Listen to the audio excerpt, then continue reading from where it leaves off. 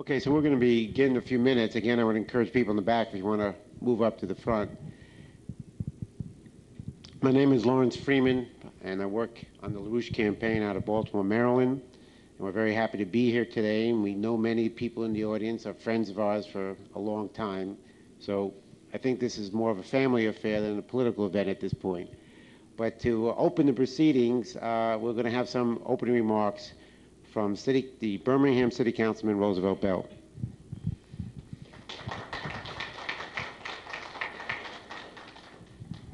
Thank you very much, Larry. On behalf of uh, my colleagues on the council and our Mayor Richard Arrington Jr., it's a pleasure for me to be here with you today uh, as you visit with us here in Birmingham. As you can see, we are we're involved in an uh, annual meeting of the National League of, of Cities. We serve as, as the chairman of Transportation and Communications for, for the Birmingham City Council, as well as chairman of the State League of, uh, of Transportation and Communications. I've had the privilege for, for many years, not many years, but several years, to to observe the works and teachings of, of Lyndon LaRouche, I think it's a, it's a refreshing viewpoint uh, for thought. I, I had a young man that I talked to out in the hall just a while ago, and he was asking me about the meeting and, and the contents of the meeting. I had the privilege of asking Mr. LaRouche the same question prior, prior to the meeting. Uh, I asked him what was his expectations of the meeting here and what really he would be, be talking about, and he said, I just take them like they come and, and tell it like it is. So I'm, I'm pleased to, to be here uh, in this meeting. Again, on behalf of uh, our colleagues in the city of Birmingham, I want to welcome Mr. LaRouche and all of his friends uh, to our city. Thank you very much, Larry. Thank you, Councilman. I just want to give people a few bits of information because the media has refused to tell you this. In fact, the media has lied to you virtually everything they've said about Mr. LaRouche.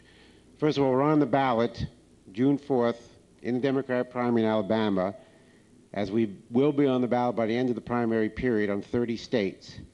Up to this point, we have now gotten over one half million votes in these primaries, and we expect to get several thousands, tens of thousands more. Of course, you haven't been told that by the media. Uh, it's also the case that Mr. LaRouche will be giving his fourth national TV show on June 2nd on the Fox network. It'll be 8.30 Central Standard Time. And as some of you may know, Mr. Lewis has been very active in Alabama over the last couple of weeks. We were at the New South Coalition meeting uh, two weekends ago. This current weekend, we were at the Joe Reed's Alabama Democratic Conference, and we have many friends in Alabama for many years. We are committed and serious about this campaign, not just the election, but what happens after the election in building a movement to change this country. And we feel very strong that the center of that movement will be Alabama because of its great history in civil rights. And we will not give up, and we're going to be fighting with you in Alabama all the way. And for us, this is a very serious commitment.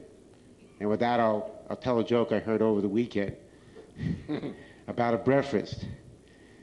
You know, when you have ham and eggs, chicken contributes to the breakfast, but the pig is committed. And we're committed to Alabama. And with that, I bring you Lyndon LaRouche, a great statesman and economist in Alabama. Thank you. Thank you. Now, in view of the, especially in view of the composition of the audience, it's important, I think, that I concentrate on the problem in a special way. Since you're all leaders of organizations and been in the movement for a number of years, and that we discuss things which are of common interest as problems of organizing and perspective. We have, let me take it from the top down, and let me say, first of all, something which situates it, and you'll see what the importance is apart from the personal touch, which is personally important to me.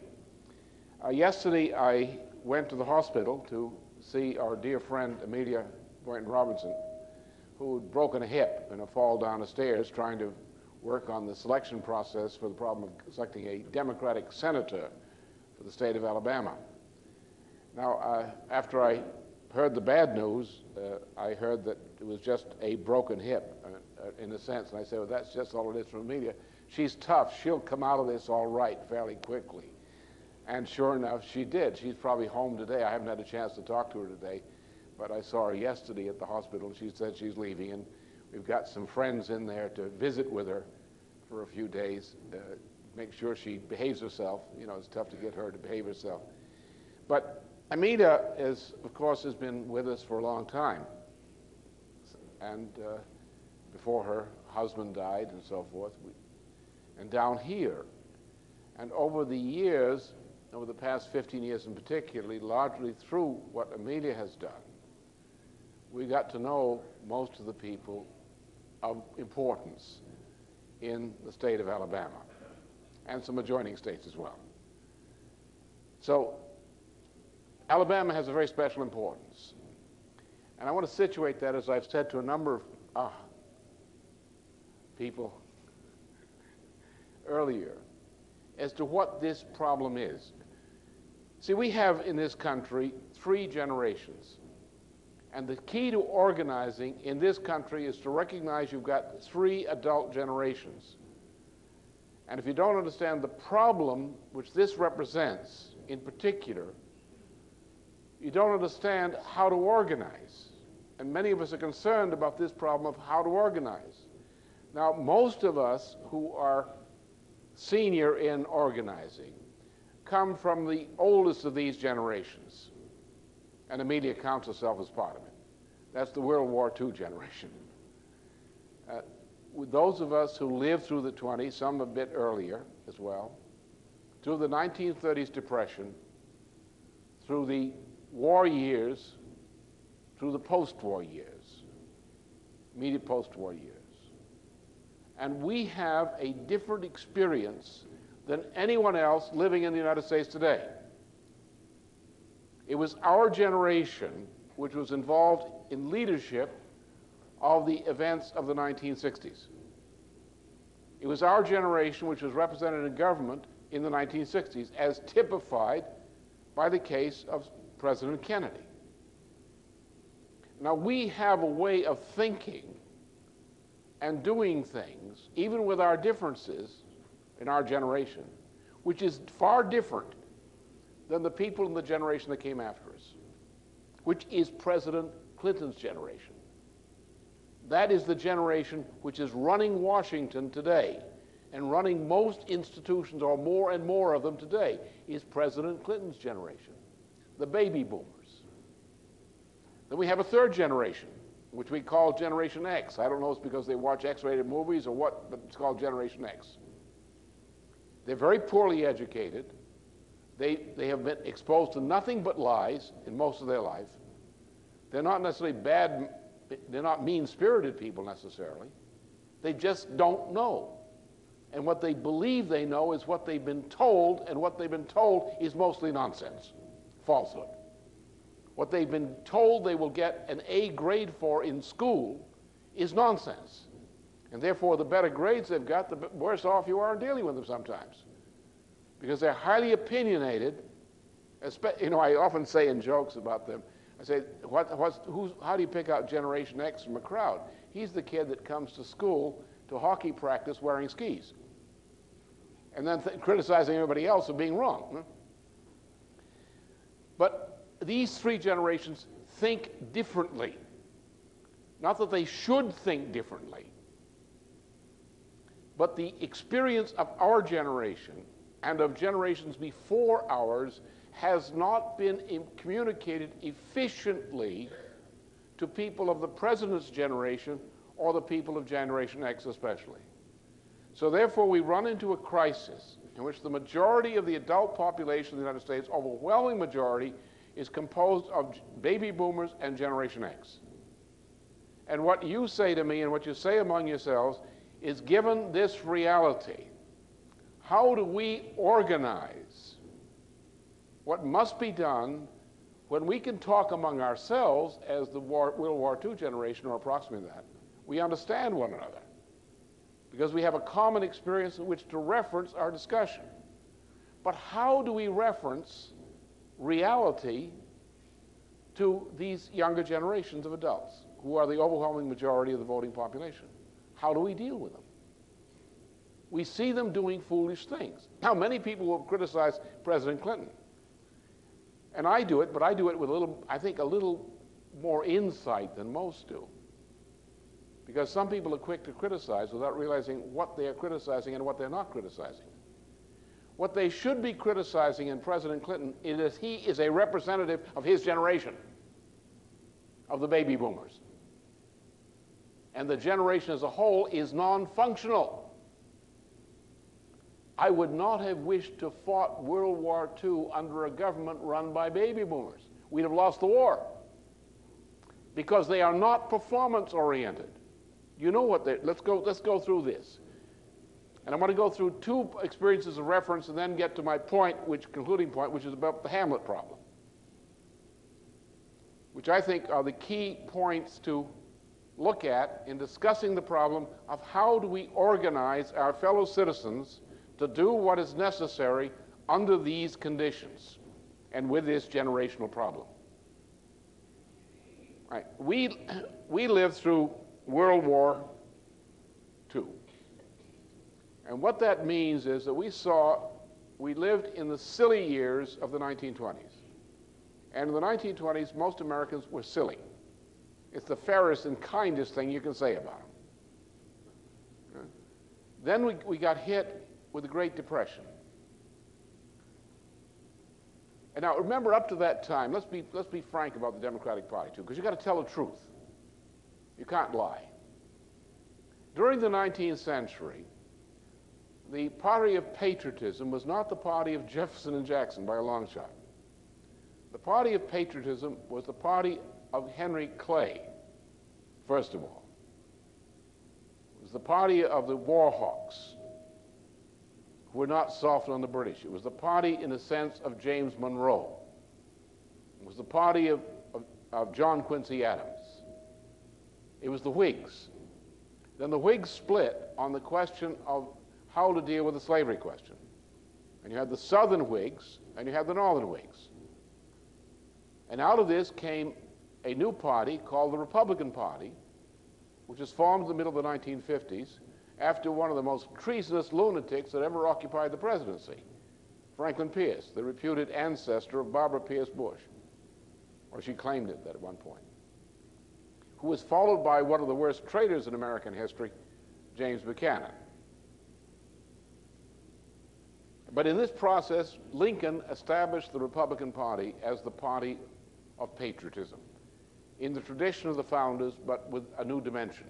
Lincoln was probably the greatest president this nation has ever had, though he's much under, under, understated.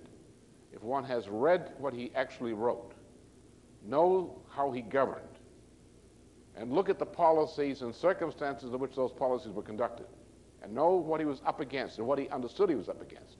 He stands out as probably the greatest president, the man of the greatest intellectual development among all presidents we've had in the United States so far. So during the 19th century, with, except for Massachusetts, New England, the New York crowd, the Republican Party was the party of the patriots from Lincoln on. Then that changed. In 1901, some admirers of Teddy Roosevelt from Britain arranged to have the President of the United States, McKinley, assassinated in order to bring to power Teddy Roosevelt.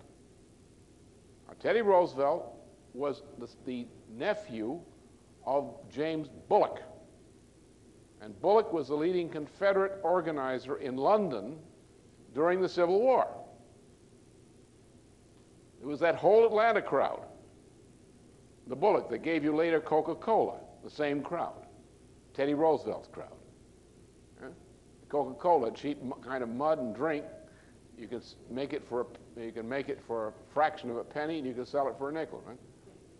And you can set up a political machine by putting people up in Coca-Cola franchises, which is why you set somebody up to make a little money, to have some slush fund in his community, and finance a, a whole organization. Well, Teddy Roosevelt was essentially a traitor to the United States. He was true Confederate.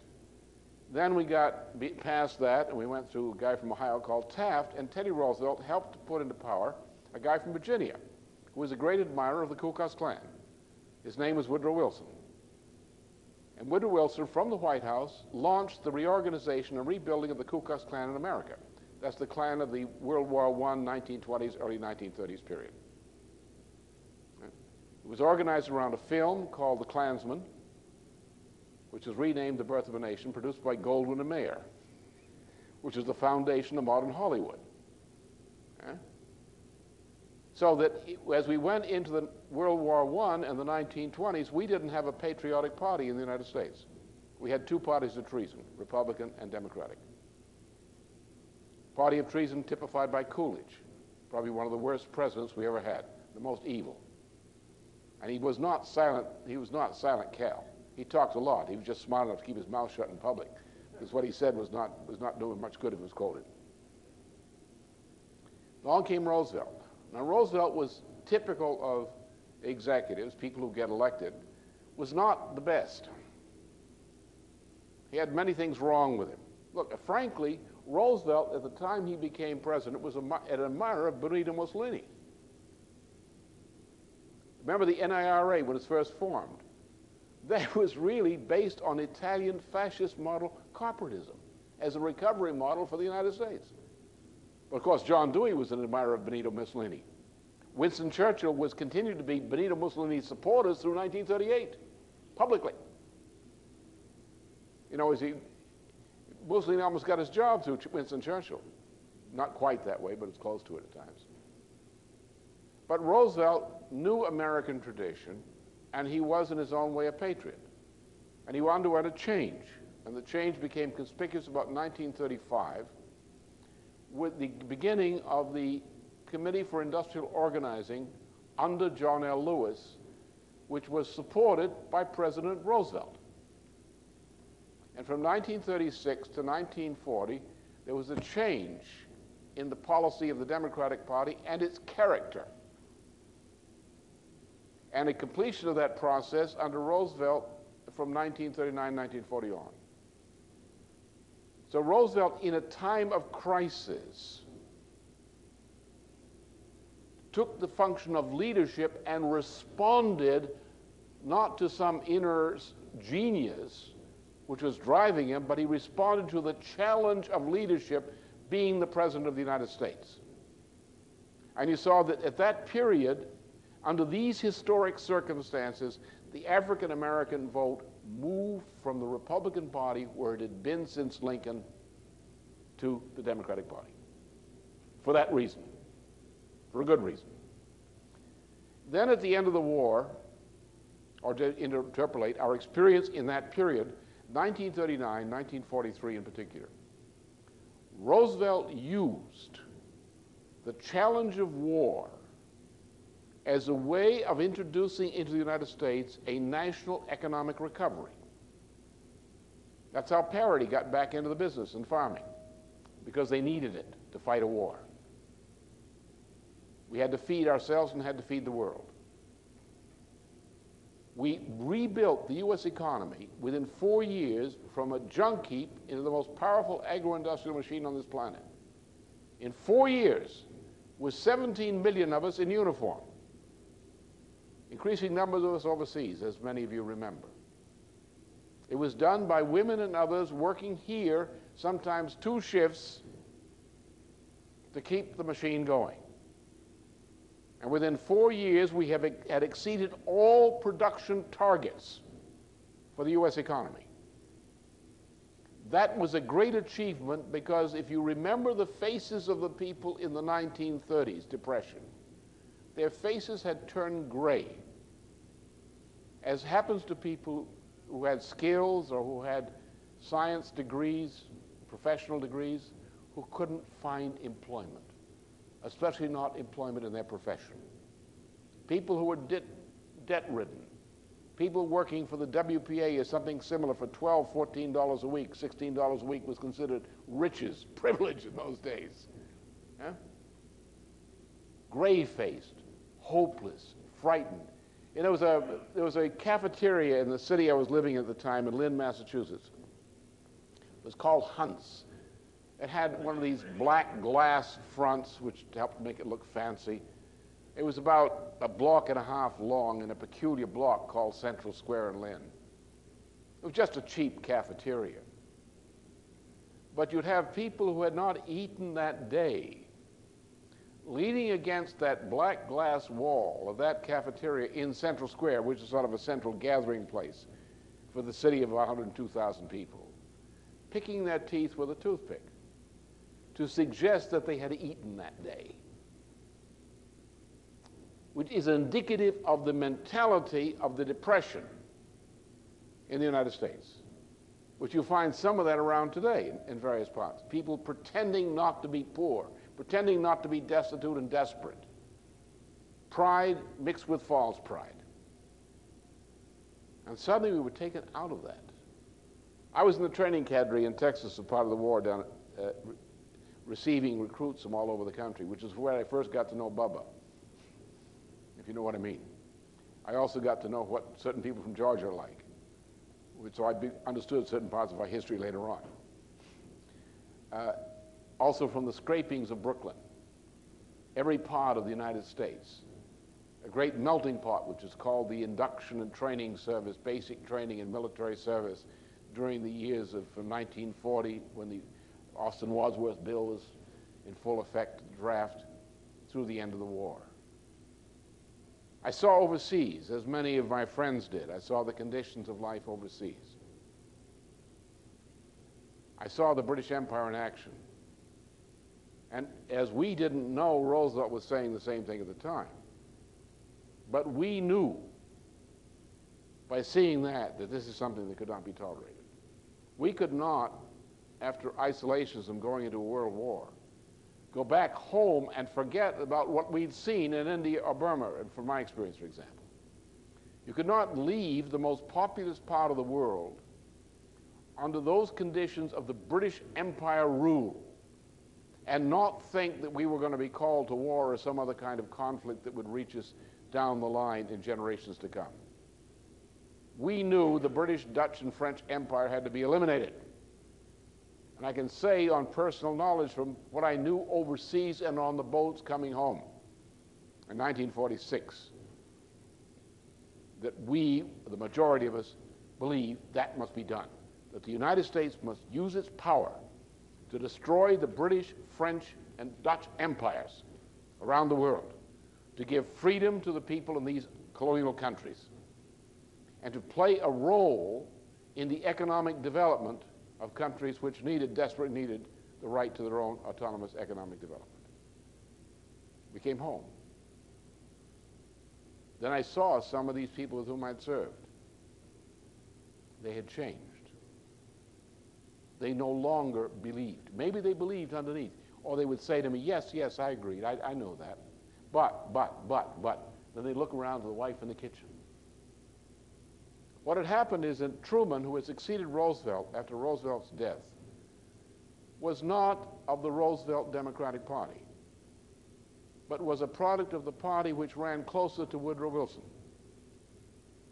That, Ro that Truman was totally controlled by Averell Harriman which is why the two bombs were dropped on Japan. Totally unnecessary bombing of Japan with those weapons. Japan was going to surrender. The surrender had already been negotiated. It was done for different reasons. Truman also put the United States unnecessarily under British orders and Harriman guidance into an artificial depression, which some of you remember. You came back and they suddenly they shut down the economy. Said the war is over, we're going to shut down the economy, 1945-46 from 45, 46, the returning veteran came back to the United States, which had been put back into what looked to us like a depression. And that continued until 1949. What happened to us, my generation, is we became a bunch of stinking cowards. Not me. I'm a, I'm a nasty fellow. I don't do those things. I'm, but I would see them, and they would look like this. What are we talking about? Don't say anything that will get me into trouble or my wife will have you thrown out of the house. I've got to think about my career, my job. I've got a baby coming. I've got to be careful. McCarthyism did not start with Joe McCarthy, the lunatic, the, I used to call him the Appleton ape. He didn't start it, Truman started it. The Truman era started it. Of Americans who had fought in a war who came back with, and lost their courage on the streets of the United States for fear of economic security, who would turn against their neighbors and friends and even family members to try to save their own career, to avoid embarrassment. But these fellow veterans of mine produced children. And some of them became reasonably successful, but they didn't give their children much morality. They were quicker to give the child a toy than morality. Child was watching the television set. I want a toy. The child put on a tantrum. The latest toy would be produced in these typical middle class families in suburbia. And then the time came that these pretty little children, whose parents had lost courage and didn't have too much morality left, these were people who generally would support the civil rights movement when the time came. But they didn't have much strength when it came to a fight themselves. They had sympathies, they had guilty consciences, but not much fight. And their pretty little children from suburbia went to schools. And the wealthier ones generally got into university,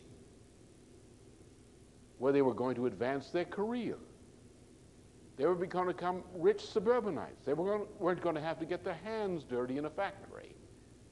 They would have a professional employment after a university education. They weren't concerned too much about dedication to a vocation, but rather dedication to a career, a professional career. You know, the difference between a person who's dedicated to something because they want to do it, they believe in it, and they'll do it at any price because that's their identity, as opposed to somebody who says, I decided the best way for me to get rich is to do this, or to have the right kind of life. And that's what they became. And all was quiet and well until October of 1962, when some Soviet ships which we watched on television every night. There was be a showing of these Soviet ships for, during a week or so, going toward Cuba. And we were told that those Soviet ships had medium-range missiles fit for nuclear warheads, which presumably were also might be on those ships. And the United States said, no, those ships will turn back. We saw an American fleet, including a, a naval ship called the Joe Kennedy out there in the Caribbean, waiting to intercept those Soviet ships. And people who hadn't known what a church was suddenly went to the nearest one to pray, give confession, and so forth. Because they were convinced that it was about to end, all of it. The whole nation went for about a week or so into a thermonuclear shock the end was not nigh, it was virtually here, and they could look up in the sky and expect to see it coming. Now, that was something that happened to those children. Then, 13 months later, the President of the United States, Kennedy, was assassinated. And nothing was done about it. Except to take some patsy who had nothing to do with the crime and shoot him and then pronounce the thing covered up. It happens that Lee Harvey Oswald had sent a telegram about 48 hours. Lee Harvey Oswald, by the way, was a government agent. Had sent, it was actually an agent working for the FBI at the time, uh, who had sent a cable to J. Edgar Hoover because he'd been blocked on the Dallas office level tipping off J. Edgar Hoover to announce that there is a high-level assassination imminently planned the, against the president in the Dallas-Fort Worth area. J. Edgar Hoover did nothing about that telegram. Matter of fact, he hid it a little later, but later was discovered. Nothing was done. Then the Warren Commission shocked people because they saw the Warren Commission was a transparent fraud. Nobody who's any sense could actually believe the Warren Commission report It just was the stunk all over the surface. It's like a comic book story that doesn't wash, only this wasn't funny. Then, a little later, we had some more assassinations. We had the attempted assassination of de Gaulle by the same people who actually killed Kennedy, which is British intelligence, an organization tied to the Bronfmans in Canada, headed by a fellow called Major Louis Mortimer Bloomfield, headed up an organization called Permanent Industrial Exposition, which is the organization which was indicted in New Orleans, by Clay, headed by Clay Shaw, who was a OSS, former OSS officer who had worked under the direction of the head of Permindex during World War II. And it was Permindex which had tried to assassinate de Gaulle, the same organization that killed Kennedy. Nobody would talk about it because that's British intelligence. A little bit later, Malcolm X. Malcolm X, there were a lot of confusion about that, but there was a, a spray of blood that said this, no, this should not have happened. This is political. And the dirty finger, the bloody finger, pointed to the FBI. Then April 1968, Martin is killed. FBI. FBI, the same crowd. Remember that Louis Mortimer Bloomfield was in 1963, still from 1938 to 1963, was British intelligence personnel advisor to J. Edgar Hoover for Division 5 of the FBI. And he was the assassin. Then, a few weeks later, after Martin, Bobby Kennedy was assassinated. All of these assassinations occurred in the context of what was, became known as the Vietnam War. In, 1960, 1963, Kennedy had written an executive order or had ordered McGeorge Bundy, his national security advisor, to write the order, and he signed it, instructing the United States under executive order that the United States military forces would be out of Indochina by 1965, and a process of withdrawal would begin then, with that terminal date. As a matter of fact, the president was smart. He, he got Robert Strange McNamara, who was then the defense secretary, right on the steps of the White House where he could watch him and forced him to hold a press conference on the White House steps announcing that that executive order had been issued and the Defense Department would now proceed to prepare for the total withdrawal of U.S. forces, military forces, from Vietnam by 1965. We all knew that, remember?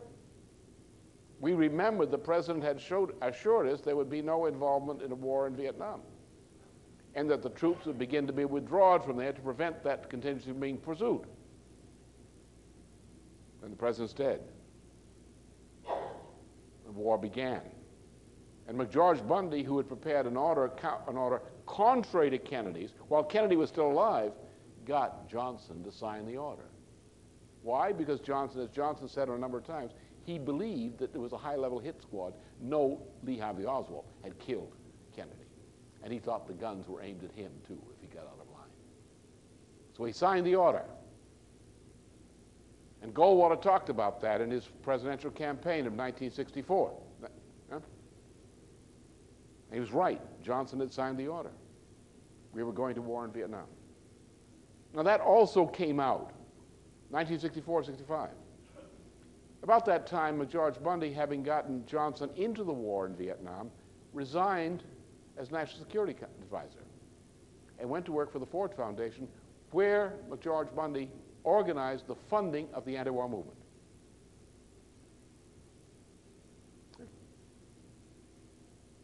So in this process, with the nightly television showing the potential draftee on college campus pictures of the slaughter in Indochina, particularly Vietnam, showing American bodies being displayed on the television screen as well as Vietnamese every night,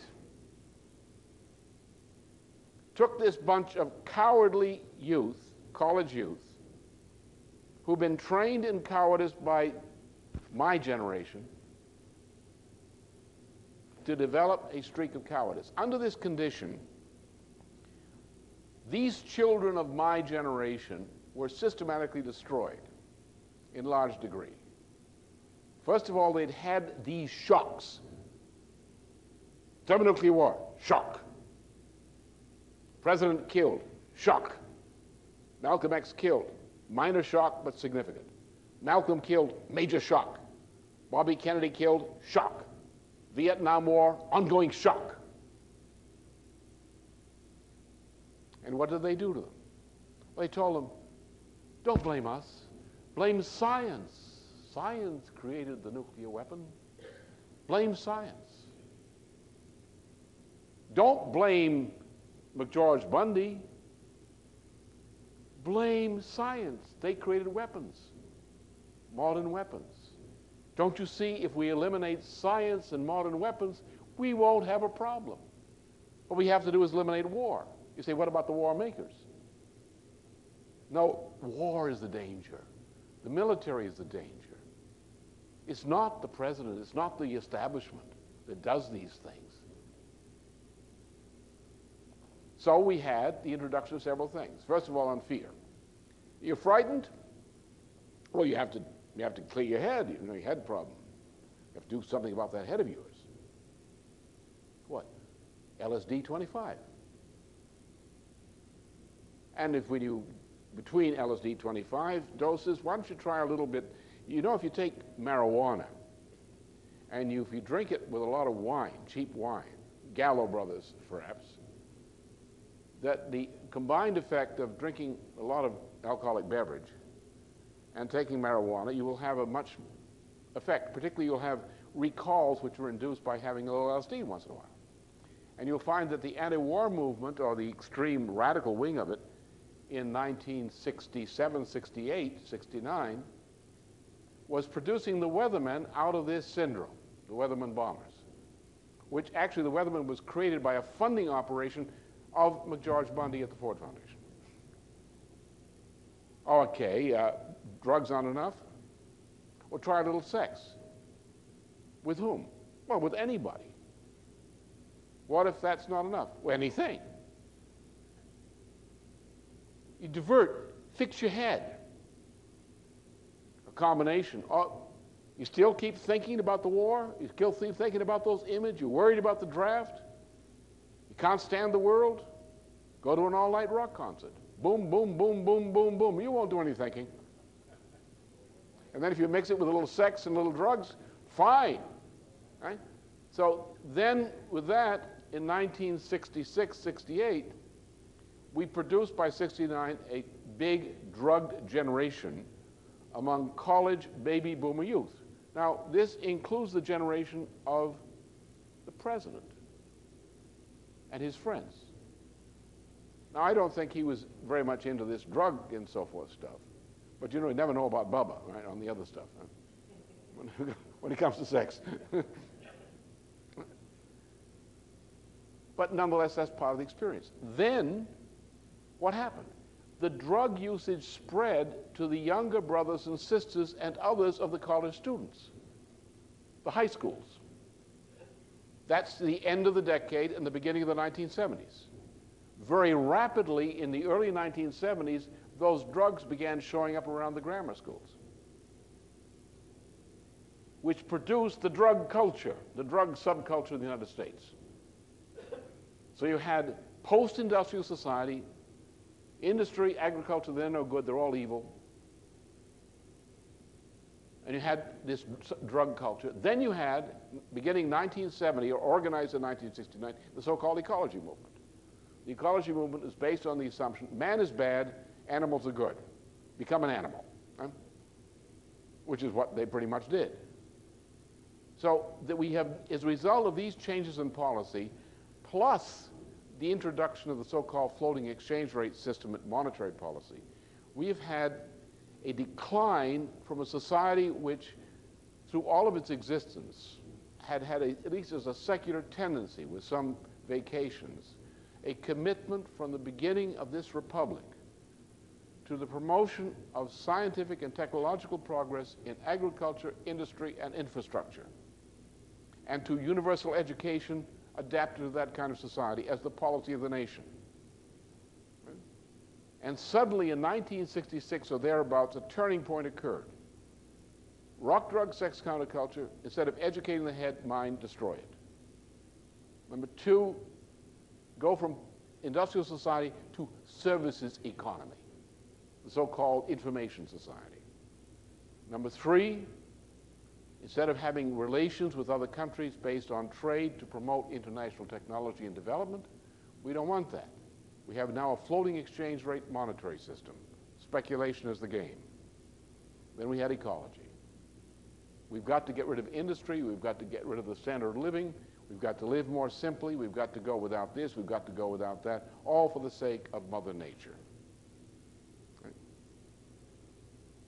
And thus, what happened to our economy is that over the period from 1966 to 1970, although we were still making some progress, such as the moon space landing, uh, manned moon landing was part of that, it was on the inertia of what we'd started before. But investments in infrastructure began to decline.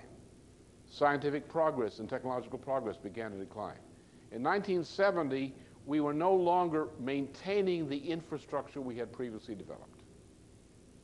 From 1970 on, 1970 71, there has been a progressive decline in the U.S. economy in terms of consumption per capita. That is, the following things physical facts. Let's take several categories of consumption. You have household consumption, obviously. You also have consumption you require infrastructure, such as clean water to drink, sanitation, transportation, power systems, so forth. You also have agriculture, investment in agriculture in order to have the food produced. You have to have investment and the cost of maintaining investment in, in manufacturing to produce the products. In other industry, you must have investment in the process to produce the products. You must also have three categories of services which are essential to productivity and life. Obviously, healthcare. And I'll take the case of Alabama. Take a very simple problem, which has been characteristic of the state of Alabama for a long time. Let's take a case in some, all of, uh, the, test case in every part of Alabama. It's a simple test. It's called the birth uh, crisis test. Take a woman who's pregnant, who's got herself in a birth complication, who requires hospital care. And there's a lapsed time within which she must get to a hospital because otherwise the likelihood of successful treatment is lost. Either you're going to lose the baby or you're going to lose the mother, or both. What's your chance of getting that woman in a birth crisis to a hospital in time in the state of Alabama? Let's take the whole state of Alabama and let's take every locality in Alabama. Let's make a map of the places in Alabama from which you can get that woman to a hospital that will receive her, regardless of what a credit card is, and time. Right? Now let's take the opposite. Let's take the areas of Alabama which don't have that possibility. Let's, let's count the numbers. Right? A simple test, isn't it? Now let's look at it, that problem, at various dates.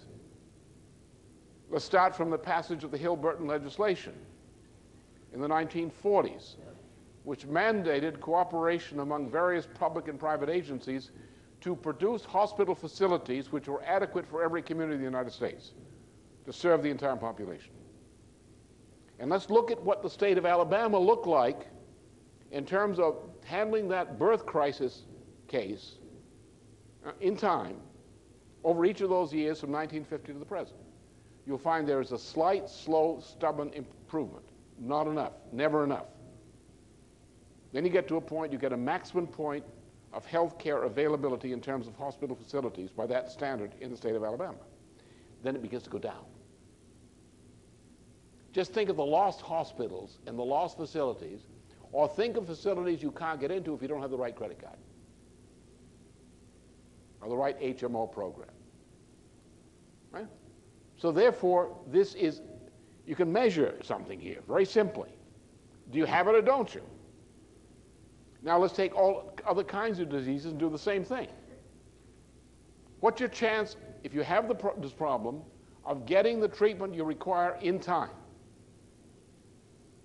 And not being told, take an aspirin go home and see if the cancer goes away. Huh? Which is what it's getting to with HMOs today. Now let's take another thing, education. What does it take to provide the kind of education which can produce a labor force, which can produce what a society requires, which is able to put a man on the moon. That is, what is the level of education which the total population must have to give you the kind of society which has the technological and productive capability of maintaining itself while also putting a man on the moon. That's a known problem. So let's say, let's, let's assure today that everybody in the United States, today or back in 1970, that everybody in the United States should have the kind of education which they should have in order to maintain a total society which, among its other tasks, would be capable of putting a man on the moon. Because we did that, and therefore we can measure what that took. What kind of education should we have had to be able to do that kind of thing? Now, we obviously should not have had cable leading to television in the classroom, which is where the, one of the places where the president makes a mistake, and that's a, that's a generation, baby boomer generation problem. He doesn't understand what education is. Plainly, the president honestly, sincerely does not understand what education is, even though he had a fairly good one. It's typical because they believe in this information age. What you require is, is you require a situation in which every human being is a repository of the important discoveries, original discoveries, which are made by mankind in all previous history. Going back, say, the ancient Greeks, going back to questions of the early development of, of astronomy, which goes back tens of thousands of years, which we have some trace, and so forth. So a child should be able to, in the process of education, should be able to demonstrate that discovery, not learn it, not learn to put the right, write the right answer down on a test, but should be able to say, okay, kiddo, we're going to have a test today. It's your examination. We didn't see the examination papers, teacher. Don't pull that swindle on me. You're going to be really tested. I'll give an example. The kind of question which you would ask, say, in a good school of someone, say, in the 10th grade. And say, all right, in the third century BC, the chief librarian of the Library at Alexandria, Egypt, estimated the size of the meridian of Earth. Huh? He came within 50 miles accuracy of the estimate of the size of the pole. Note that no man until the 20th century had ever seen the curvature of the earth with their own eyes until we got some things out in space. Tell us how did Eratosthenes know that the earth had curvature? How did he prove it? And how did he measure it? Now, in my system of education, any child in the 10th grade could easily answer that question. In other words, the child, we don't want the child to know the right answer or where to look it up in the book. We want the child to have gone through the experience of reliving the experience of great discoveries. For example, how did the man first estimate the distance from the moon to the earth? in the same time. Wasn't a very good estimate, but was a good approach to estimating. Right? How was the distance to the Earth and Moon measured in the time of Plato and 100, 200 years after him? How was that measured? Any child in the 10th grade can do that if they're properly educated.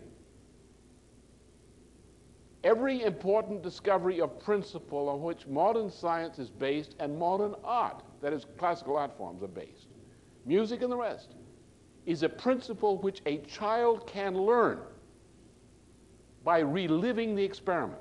So therefore, we want a teacher who can lead a class of not more than 15 or 16 pupils per class in order to get interaction among the students, which is essential for this process, to put the class through the process of learning to think about the world in that way. So no longer is there mystery or double talk or so forth, but you've developed a person who has a, a rounded capability and has a sense of a connection to people thousands of years before. Because what's the big question? Let's take a little time out here. Just what's the big question you have to get forward in people's mind? Now, you, in my writings, you'll often run across two biblical references, which I'm constantly dealing with, or and references to this in other forms. One, Genesis 1, 26, 30, that man is made in the image of God. And that man is made in the image of God to have dominion over the universe, over creation. Now, what is that? What's Genesis talking about? What's Moses telling us in Genesis 1? What is the quality by which man demonstrates dominion over the earth? And man does. Because if man were a higher ape, as Prince Philip of England claims to be, then there would only be three million of them, at most. At any time in the past two million years, you couldn't. This planet could not have supported more than three million monkeys like Prince Philip on this planet at any one time, and that's already too many. But in any case, but man had a population in the time of Europe's 14th century of 300 million people. That's a lot more than 3 million. Today we have 5.2 or more people on this planet. The life expectancy up until 1966 of mankind had increased. The quality of health, the rate of childbirth mortality and infant mortality had decreased. We were conquering diseases.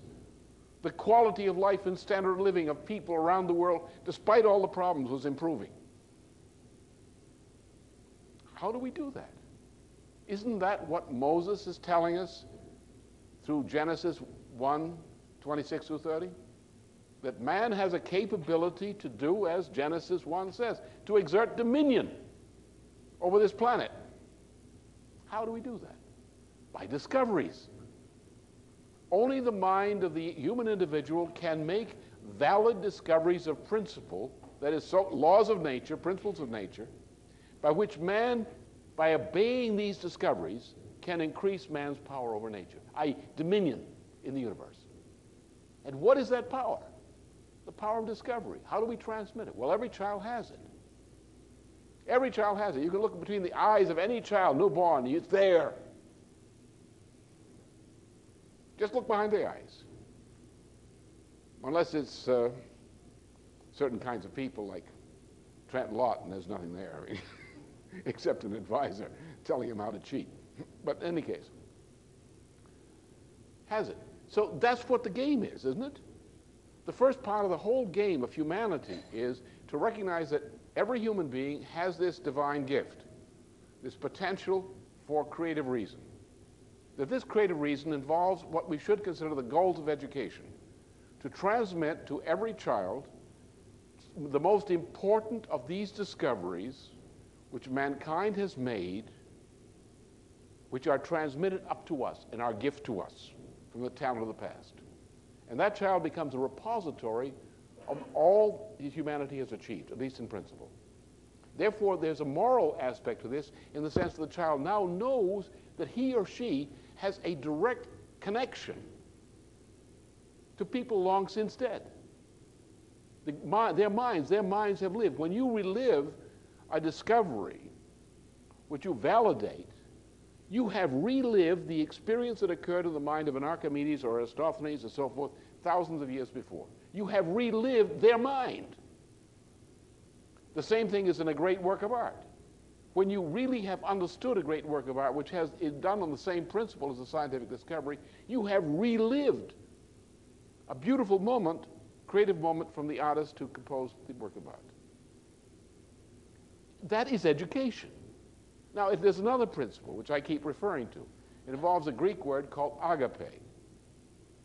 Agape first appears in this usage in the writings of Plato, and it occurs beginning the second book of the Republic, and then turns up again repeatedly in later plays, later dialogues, which means love. It, Plato uses it to identify love of truth, love of justice, love of God, love of mankind.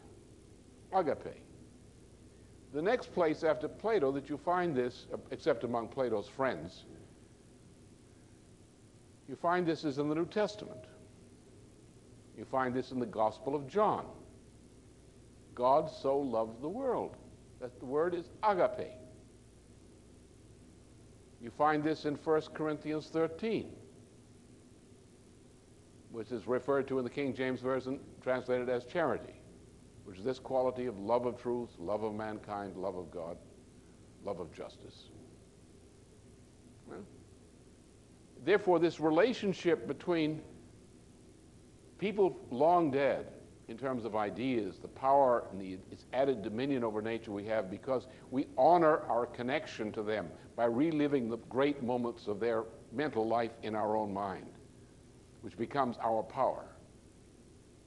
We can transmit this to our children. We can do the same thing they did and participate in making discoveries, share making discoveries, which we pass along to people after us. And as is the New Testament, the parable of the talent. We are given a talent we are born with a talent, a creative power, and a span of life. We don't know how long that span is going to be, but we've got a span of life. Now, if during this time we use that talent, that creative power, to do good, to honor the good that was done before us, to assimilate what is given to us from the past, to honor that good, to use that good, to transmit it to others, and to try to improve upon it by adding something to it. Then we can die with a smile on our face because we know we have fulfilled our talent. We say, I am returning my talent, Master. I have used it and I have increased it. I have done as you commanded me.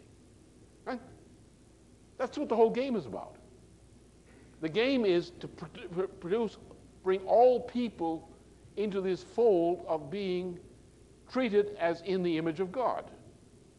To do that means that you have to provide them the opportunity to live so. That society's function is to give the protection to the weak, mortal individual to from birth have the opportunity to become this kind of person, which is their potentiality, their divine gift of potentiality. That requires that we nurture their bodies, requires that we educate them. It requires that we seek to provide the means by which their talent can be expressed to the benefit of mankind. So they can have the right to go to their grave saying, I'm proud of having lived because I have fulfilled my talent and returned it enriched to he who gave it to me. That's the name of the game. So that's what economics is. That's the reality of economics. It is not some mystical, dry, dead thing. And by that standard, the requirements of housing, the requirements of health care, the requirements of education, the requirements of clean water for the community, the requirements of transportation, the requirements of power for production. These things are necessities which we can measure, at least we can measure how much minimally must be provided to maintain mankind in its present condition or to improve it. And by that standard, by counting the things you have to count to do that, we have been shrinking as a nation by more than 2% per year for the past 25 years. There never was any growth under any president since 1970. None. And you can see it in the streets. You can see it in the communities. You can see it in the unemployment. You can see it in the people who are out working and their children are latchkey children because you can't run a family based on a good provider anymore. Both adults must work. You can see it in broken marriages with single parents where the conditions produced on the child of not having adequate nurture because somebody must struggle just to try to barely meet the standard of existence of the household. And there is no time or energy left for nurture of the children. There's no one to be there when the child wants to share something. And you know how it is. You're all been parents and grandparents. You know what this is.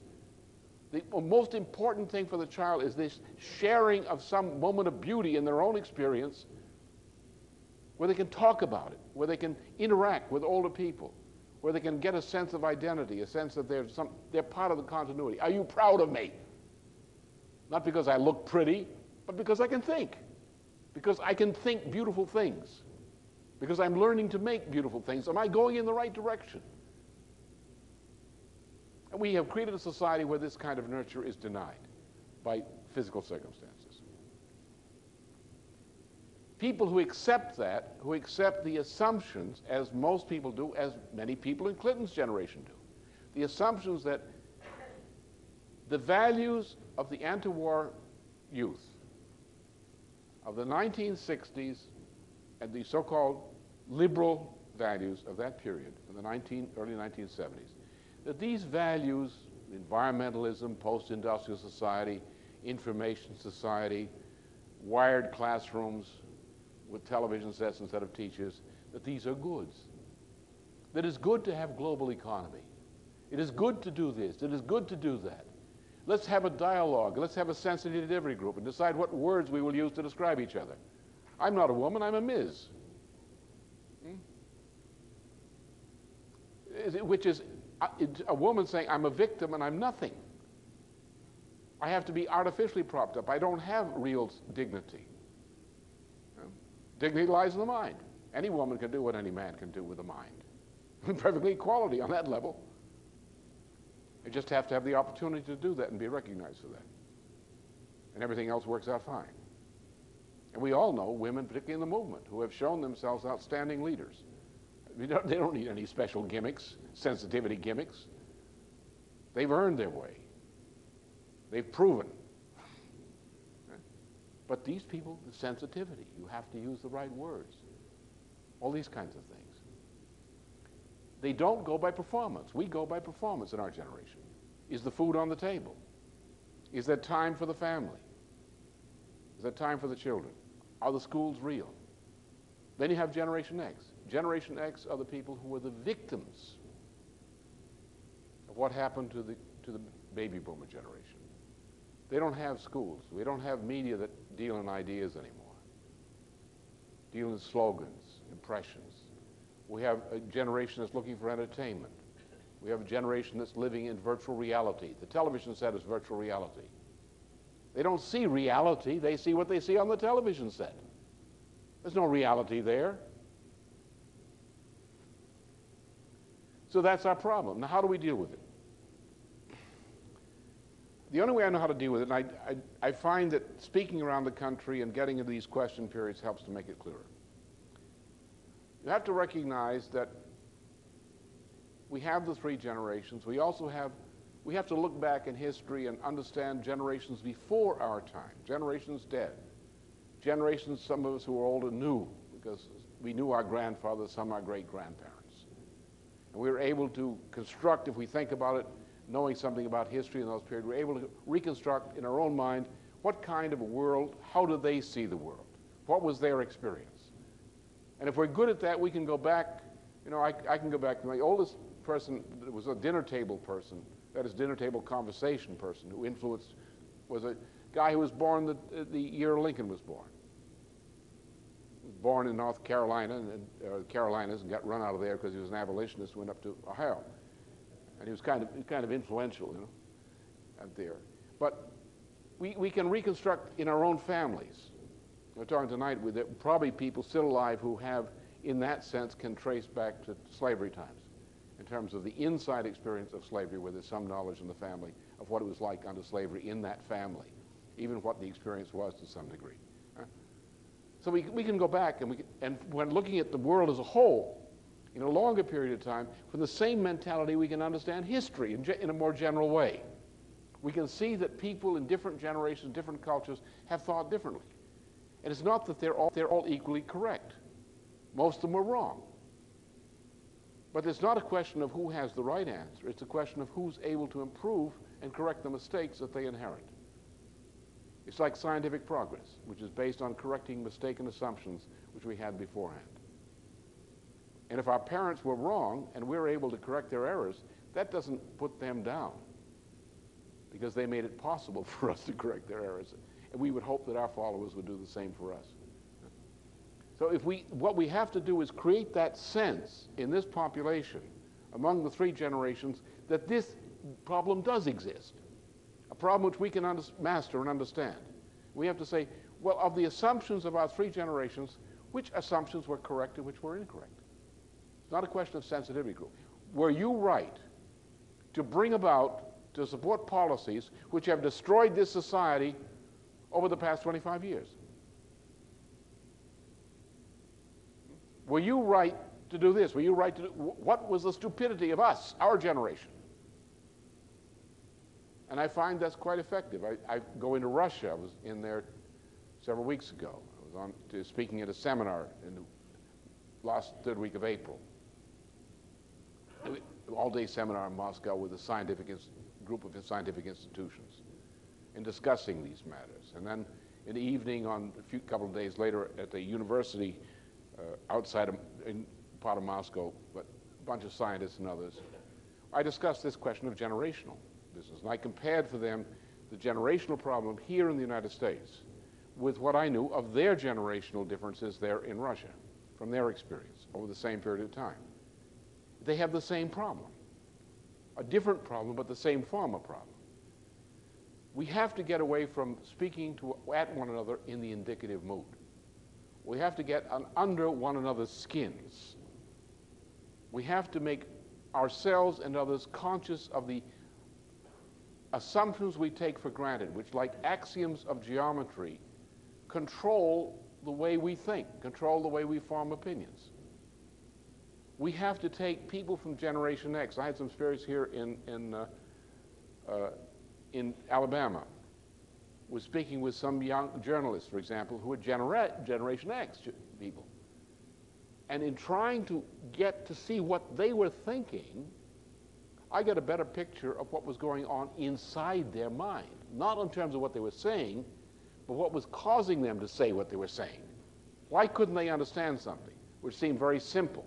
They couldn't understand it because it ran against something they assumed to be true arbitrarily.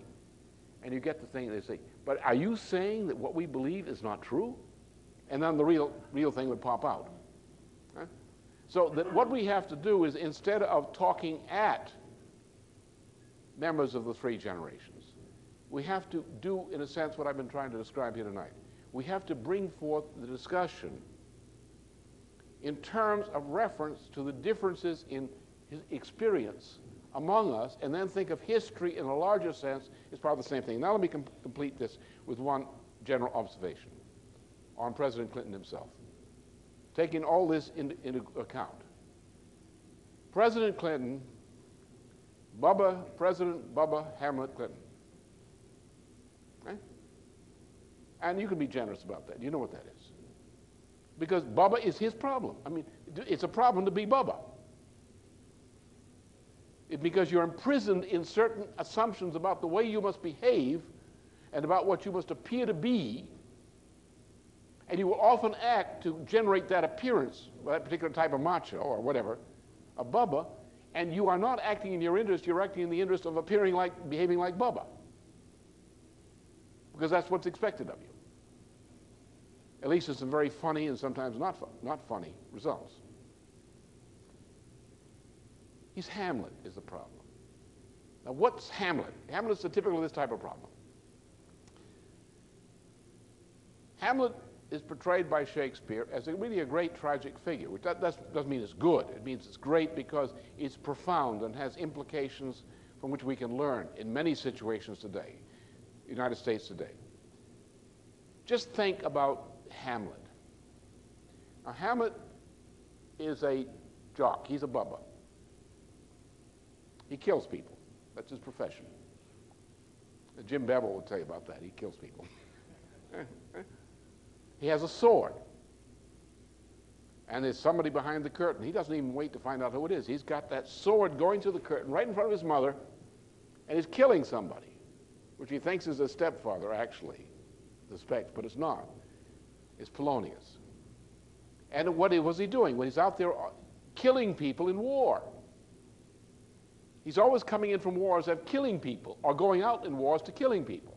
And how does he die? Killing people, killing and being killed. So he's not a softy, he's a macho, a real killer macho. Swinging that sword, knocking off heads, bringing intestines into full display. That kind of stuff. So it's not a lack of physical courage on Hamlet's part. It's a lack of intellectual courage, of moral courage. What did he say? He tells you that in the third act, the famous soliloquy in the third act of the play. To be or not to be. He's in the subjunctive. To be this or to be that. The choice is, and he says, what I dare not be, which puzzles me, I think of as like death. The tra- a bourne from which no traveler has returned. And I would rather bear the ills I have than those I know not of. In other words, Bubba is the kind of soldier who we used to call a jarhead. You know, there's a joke about the Marine jarhead, the Marine colonel. Not as a kind of a bloody joke, I suppose, but he's told to take a position after every other person who's tried to take the position has failed. So he throws his whole regiment into the assault, and they're almost wiped out, but they take the position. And someone asked the colonel afterward, why didn't you flank them? And he goes. Jarhead. Now, that's Hamlet. It's, it's saying that he has a problem to solve, that he knows that if he goes the way he's going, he's doomed.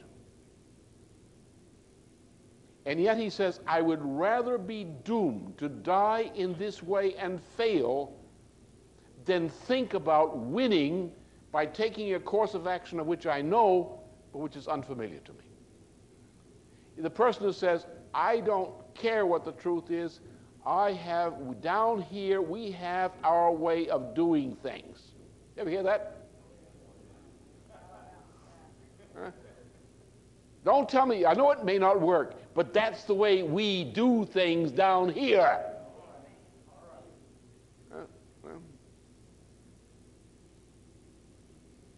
And that's Hamlet's problem. That's Bubba's problem. That's Bubba Clinton's problem. Look, he's been told that what he has to do is to play up to Generation X, that is, to adopt and be prominently attached to themes which are popular issues of perception among representatives of Generation X. He's told that if he can recruit Generation X on the basis of reflex knee jerk reaction to his espousing these themes, that he will get the unknown vote from Generation X into the polls to vote for him, that he can already count on having without any work the African American vote, the Hispanic vote, the, the, the labor vote, the retired people vote and that what he has to do, since these votes can't go anyplace else, they're, they're prisoners of the Democratic Party. All he has to do is win over Generation X and similar people. Huh? Now, he's, this means that he has agreed with a group of people, some of whom he knows to be his enemies, some of whom he knows are not friends of him as best. And he's come to an agreement with people like Dick Morris, the former advisor to uh, Trent Lott, who's still intimate with Trent Lott, the, uh, right, right, to run a certain kind of campaign. And he's been told by Don Fowler and others to distance himself from the congressional campaigns. Now, what's, what's going on there? As you know, as organizers or people who are engaged in organizing, professionals and experience, that in this state, as every other state, the issue, the gut issue of the majority of the people is economic. Not simple economics, but everything that everything you want to do costs money, whether it's education, health care, anything else, everything that's important, there's a financial cost attached to it. And we don't, we are losing what we have because the tax revenue base of federal, state, and local government is collapsing, county government, municipal government, is collapsing. That it's getting worse and worse, and there's no money to pay to maintain what is essential. And it's, no, it's not a matter of budgetary management. The money doesn't exist. You know, it's like the fellow in the old days and said, father comes in and says, look, mother, we can't, can't we balance the budget? And said, yeah, probably could if you could go out to work. And what this nation has to do is exactly that. We have to put it back to work. Otherwise, we're not going to balance the budget. And it doesn't make, otherwise, balancing the budget is an exercise in futility and insanity. We have to put the nation back to work. Everyone knows that. Every politician knows that. These are the gut issues that translate into a price tag. Everyone who's running for Congress who's serious on the Democratic side knows that. I saw that down in Mobile with the New South Coalition. I saw that with Joe Reed's crowd here down in Montgomery on the Democratic Conference. Same thing. As a matter of fact, we had this nice little guy from Tennessee, perfectly decent little Democrat, well-meaning guy, probably not 30, but well-meaning, good-hearted fellow, comes in, Generation X profile. Huh? He comes in, young lawyer, I guess we got a lot of those, haven't we? Anyway, he came in, and he's speaking to the crowd as a courtesy guest. And he's all enthusiastic and all happy, telling these people the good news that unemployment has collapsed in the state of Alabama. And I heard boos from that crowd right, at that point. But so everyone knows this. They're all playing to it. All right. Therefore, the, the Democratic Party on the state levels in running candidates for the Senate and candidates especially for the House of Representatives, which is even more sensitive, whether you win the election or not will depend on turning out the vote, and it will also depend on turning out uh, on the basis of economic issues, directly or indirectly. Now, what happens if the, if the, if the candidates, if the party is dumb enough to listen to the leadership of the Democratic National Committee or to try to imitate President Clinton's program. The president said he's distancing himself from the congressional candidacies. Okay, fine. He wants to do that, fine. He's got a right to do that. But maybe we, some of the rest of us should not. What happens? He's elected. What happens after he's nominated? He's impeached. Because without a Democratic majority in the House representatives. Possibly also need a majority in the Senate. Without that, I can guarantee you he will be impeached quicker than you can say Dick Nixon. They're out for him. So that his Hamlet, Hamlet Bubba Clinton, being told that the way to glory, i.e., reelection, he's got a little bit of an ego problem sports jock mentality. You know, got to win the game.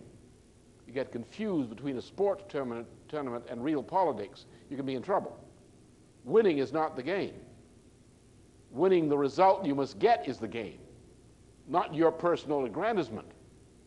Sometimes the best way to save the country is to lose the election by fighting for the principle. i have done that a number of times. right? What you, say what you have to say. Say what needs to be said. And sooner or later, it'll do some good. But if you lie, you're never going to do any good. If you kid yourself, you delude yourself that this is a sports contest. If you want to have a sports contest, go out in the kiddie playing field and have a sports contest. Don't bring it into politics. Here, the game is real. It's not a game. It's people's lives. It's the future of this nation, the future of this planet that's at stake. But the president has got himself, Bubba, has got himself playing the game of Hamlet. He's playing the game he believes he has to play, the way things are done down here, rather than risk going to the unknown. What's he afraid of? What most of the voters are afraid of. How are the voters controlled? How are most of the politicians controlled? What do you people expect of me in this respect? What controls the nation, the way a few tens of thousands of people can control a nation of 230 million people. How's it done? Is it done with bayonets? No. Even the IRS will can't do that. How's it done? By fear. How was the nation controlled in the post-war period under Truman? By its fear. How is it control? How are the baby boomers ruined? By fear. How is Generation X controlled? By fear. Fear of the unknown, and practically everything is unknown to them. How is the Democratic Party leadership controlled? By fear. How is every constituency in the Democratic Party controlled? By fear. We can't go with you. you do you know what the risk is? We got to play it safe. Therefore, the people with the cattle prods, by your fear of the cattle prods, cause you to act like cattle. Right? And what do you expect of me? You expect me to take the fear out of the situation, don't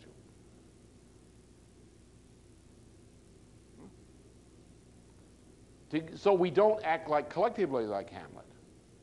Can you deal with the president? Can we deal with ourselves? If we can take the fear out of ourselves, we can take the fear out of Bubba Clinton.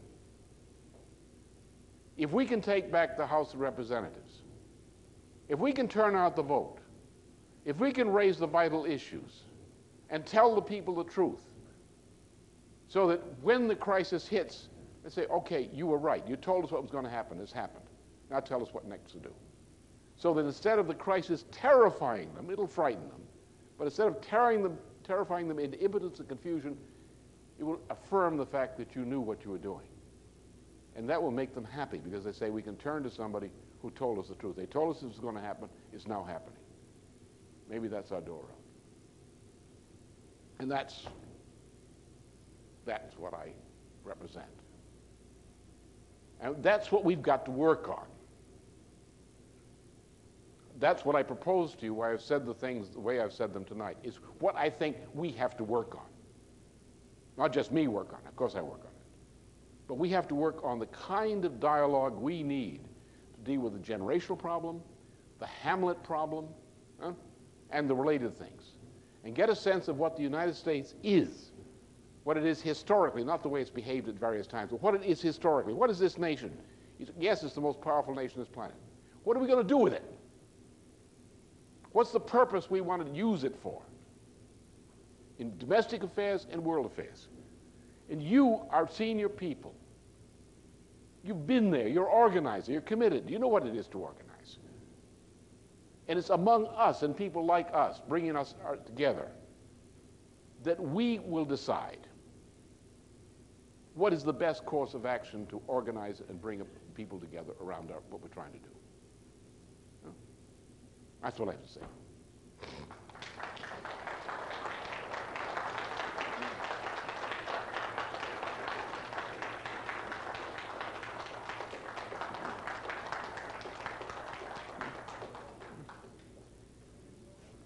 Boss.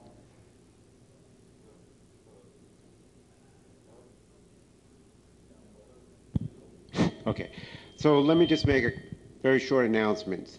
Uh, we have literature outside to help you in your organizing. People can take as much as they want with them. Also, I know some people are interested in having a tape of tonight's performance, uh, discussion by Mr. LaRouche. If there are other tapes you're also interested in, please leave your name at the table with the people uh, out there so that we can give you the most material to help in the organizing in this period up to the primary and the period after the primary towards the general election, which we will be very actively involved here in Alabama. So those are my short announcements. Uh, I think we should have a, a dialogue, as Mr. LaRouche suggests, to deal with these issues. We have a microphone right behind our dear friend Juanita Kendi. And please take the microphone, identify who you are, ask a question, and uh, we'll get into a good discussion. So whoever wants to take the first step, it's right over here.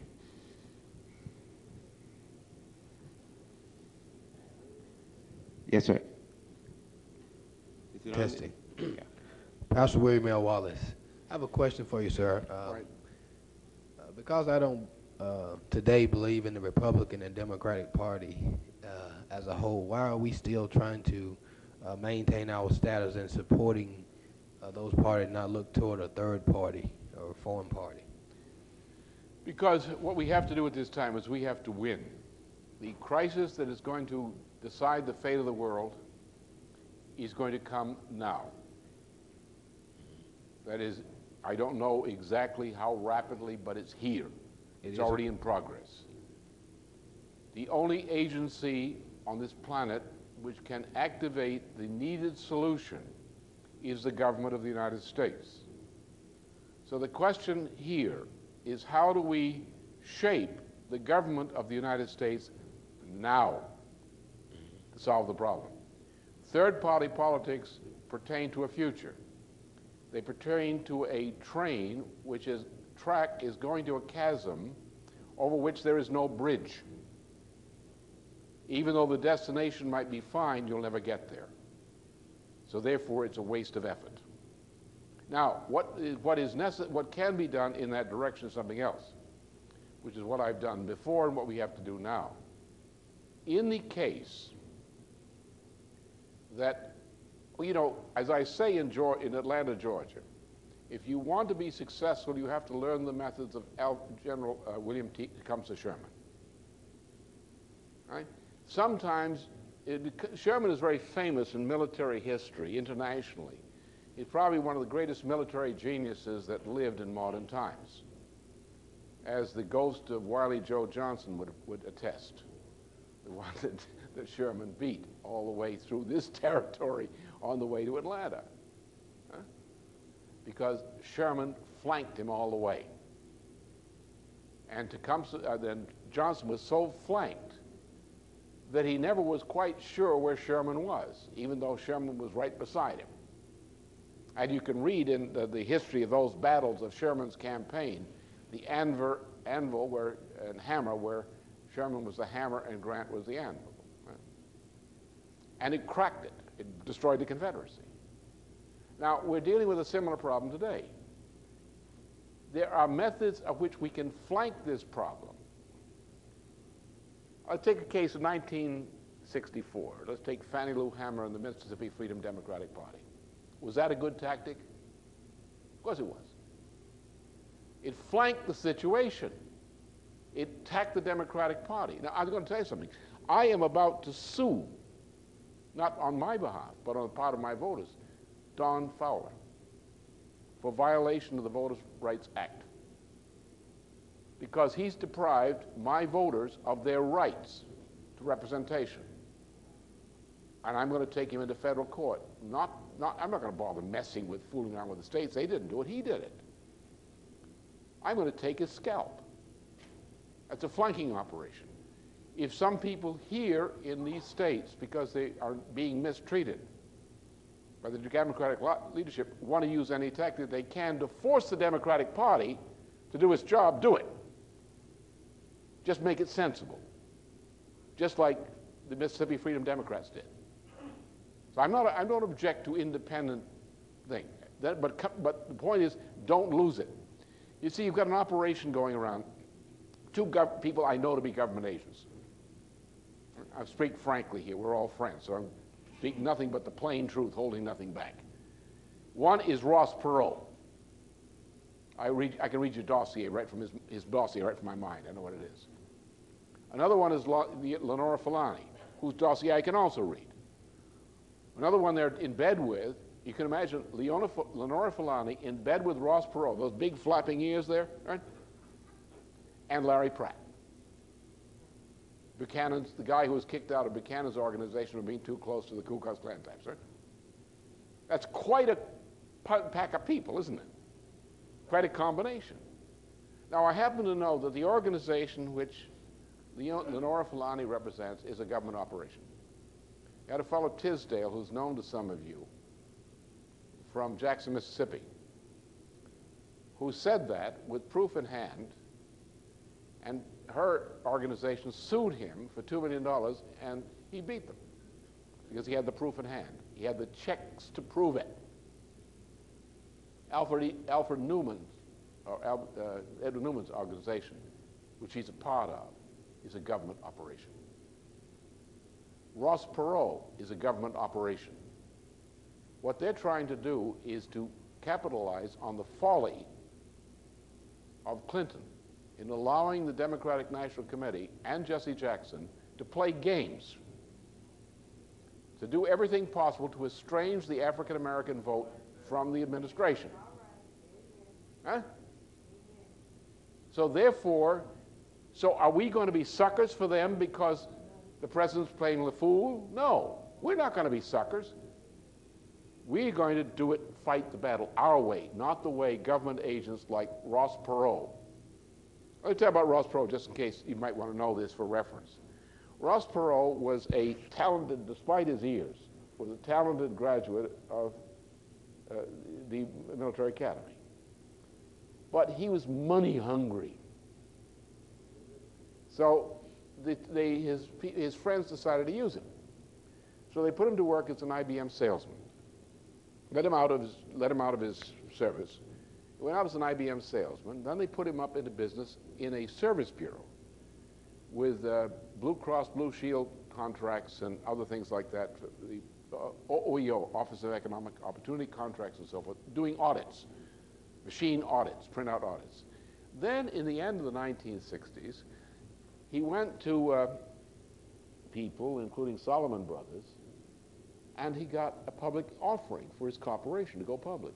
He became very, very rich on that deal. Then he was given other deals, and he became richer and richer, a billionaire. And then his government came to him and said, Ross, we've done a great deal for you. Now, we want you to spend some money for your government on things that your government does not want to be caught spending money for. Huh? That's how Jesse Jackson got to Syria and things like that. So the point is you got a bunch of government agents, and Ross was a government agent doing a good job, in, in a sense, in 1992, because it was recognized, even the establishment, that George Bush was clinically insane. And the idea of electing, re-electing a clinically insane George Bush, who refused to resign, despite his insanity, uh, just they couldn't do that. So they threw Perot in to ensure that George Bush would not be reelected. That's how Clinton got elected. And now they're using, now they're using uh, this combination to try to pull off African American and other vote on the basis of discontent, on the basis of a guy called Larry Nichols, who was a lying British agent, uh, uh, who's part of, part of the picture. He's a lying British agent who was controlled by British intelligence, and Larry Nichols I know to be a liar up and down. And he's being used for the same thing. That whole operations of the American Spectator, British intelligence, fully, allied with George Bush. Right? So that's the game. So they're playing a game to try to screw up the possibility of the United States having a solid president, presidency, and a Congress. And so why, we don't have to play the game. Whatever you can do, however, that makes sense in that environment to further the cause, including independent tactics, yeah, do it. Consider it. It should be considered and discussed. Whatever will further the cause. That's what counts. Yes, sir. My name is Tommy Wren. And what you were saying, Mr. LaRue, see, Bevel, and Jim Bevel and I've been personal friends for 30 years. so I know what you're talking about. But what bothers me, and I want to know how can we do this, I find that uh, going around that we are so dumbfounded about the American revolutionary principles in the Constitution, particularly Article 1, 2, and 3, the executive, the Congress, and, this, and the uh, judiciary. And if Clinton is crazy enough to allow some folks to separate his thinking from the Congress, which the Congress is the representative of the people, and he's the executive to ex execute the law, and the judiciary. Now, if he's so messed up in the mind for someone to separate him from me, the people, then he's in trouble. Now, how do we organize to show our people what is happening here if he's going to cut himself off from the people? Well, some people in the New South Coalition understood exactly what I was saying when I discuss this, the matter of addressing this problem with them. I, They're saying, what can we do about the situation? I said, well, the president's already won the nomination, so he doesn't need any more endorsement here. If you want to be smart, give me an endorsement, and that will do what has to be done. But then there was people who were running campaigns who need money from the Democratic National Committee.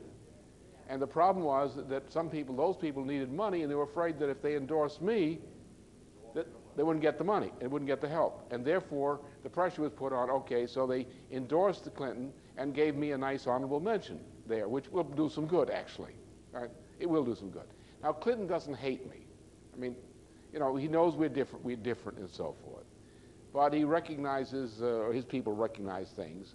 And so, therefore, it's not, the, see, the problem is not that he's the enemy. The problem is he's Bubba.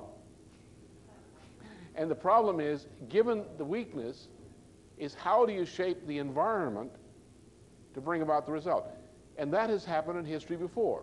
I'm certainly I'm more qualified to be president than anybody who's been living in the past in the past 40 years for this job because I know what needs to be done and I'm perfectly capable of doing it. We could get the job done. But because the establishment has turned so many Americans into frightened sheep for so long and been able to herd them around the way they wanted to, that, and because the enemy recognizes that I'm the thing that he fears the most, and that's not exaggeration, the enemy has said, keep him away from power. That's why they framed me up and threw the jug. They had a choice of killing me or framing me up. And they decided they didn't want to make a martyr out of me, so the last minute they decided not to kill me, but put the jug instead. So, because they're afraid of me. So therefore, I say, okay, that's the situation. Oh, you play the game. You got the institutions fixed, so I don't get the presidency. Well, I'm going to cheat you. I'm going to pull a Sherman on you. I'm going to flank you. And therefore, we're going to, where I'm going to help just do what I should do anyway, is take all the people I agree with and help us build a machine which can control the presidency. And we've got allies in the Democratic Party in Washington in the, and so forth. And Clinton, in a sense, is an ally. He wants to play Bubba games and look for the pragmatic solution. We must become the pragmatic solution. That's it.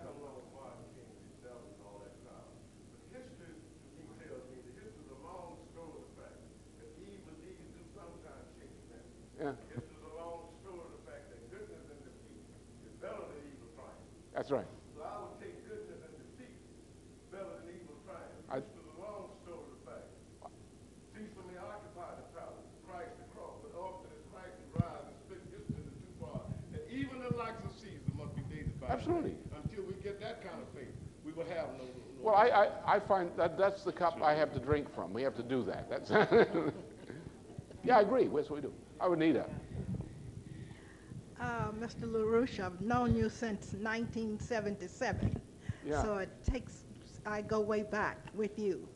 And I know of your intimacy with education, with knowledge, with the knowledge of not just the United States, but the knowledge of the world. So that, to me, that makes you a greater man for the presidency. However, under the circumstances, with the Democratic Party in the condition that it is, we have to find a way in which we can bring the Democratic Party, not just the few who know what you can do, around to your way of thinking in order to maintain and to bring the Democratic Party back into existence against the new Gingriches and against the Doles and against the others who are out there uh, with actually nothing. Uh, and I think today you must leave with Birmingham what we can do in order to, and uh, you, I know you will reiterate some of the things that you have said, but even with reiterating that, we're going to have to go further. We're going to have to go deeper if we are to maintain the Democratic Party, not only the Democratic Party, but democracy, so that we will be able to live. As it is, we're not really living. We've got our people walking the streets. We've got them stealing. We've got them with dope. We've got them with everything else but looking forward to the training of the young and that type of thing. Every day there's somebody dying, there's somebody killing, there's somebody doing for no reason. So you, right now, are our leader to tell us how we can bring ourselves together in order to combat what is out here? First of all, I would take two things. I would take two reference points Martin Luther King and Alabama. The second great event in my lifetime in the United States was the civil rights movement, which was created actually here. Okay? Now, what's happened is Martin was killed. Now, Martin had, people who know him, had a special quality, which I, you know, when, when J.L. raised the question in the hearings last year on this question, I said, I, I, I had never met Martin directly, though I watched him closely. But I, the people here who, and in Alabama who knew him very well, who were very close to him. And I've discussed this matter with all of them at different times, including uh, Amelia and so forth. Now, it's obvious when I, when I see, when I saw Martin, what he was doing, I recognized exactly what he's doing. Now, see, Martin is, the, Martin is, a, is a real Christian. apart from being a Baptist, he's a real Christian. because he was able to understand what it is, what the shadow of the cross meant to him. And I don't know what Martin did in all his total life, but I know that when he was doing something for the movement, everything I saw, he was a man of purity in that. He was a man of pure dedication. And he became more so as time passed. Because you do good, you get gooder. now, he was something special to the movement. He was, became indispensable. Because see what Martin did constantly with all the people around him, working around him. Martin had a very special role he could go into Gethsemane and, and look at the cup and drink of it. The cup of not being Hamlet. The problem is the Hamlet problem existed in the movement, even among good people. You had good Hamlets, but they couldn't rise to the next level, the next higher level. And Martin did that. It was Martin who took the, took the idea of the nation, the United States, who made that the keystone of the movement. He said what? This United States, the Declaration of Independence in particular was what he emphasized, was dedicated to certain principles. These principles are correct principles. We are bringing about the realization of those principles for all mankind. And that's what made him dangerous, because he was not talking about a bunch of victims demanding compensation for victimization. Not like the crazies of the so-called, you know, black militants. They're crazy. They were super energized victims. They were not heroes. Martin was a hero because he said, We are going to save this nation and the world by realizing the purpose of this nation. And that was stunning information when he did it. The moment he died, before he was going to be killed, Look what he did. He did go to the mountaintop. And others couldn't get out of the Hamlet skin to do the same thing. So he had people around him who all had functioned beautifully with him, with all the quarrels and schisms and so forth that had gone on frictionally within. But when he was gone, they ran in different directions to different foundations with Jesse first to Chicago before anybody else knew where he was. Huh? And that's the point. That's the point. So here what you have here in Alabama, you have the core of the tradition of what Martin did, what the core of the greatest event since the World War II in the history of the United States is here. It's in Birmingham. It's in Montgomery. It's in Selma. It's here. It's yours. You have it. I embrace it. Let's put it together again. Let's affirm that, not as some kind of passive ceremonial thing. Yeah, Martin Luther King Day is good, but whoever learned the lesson of it?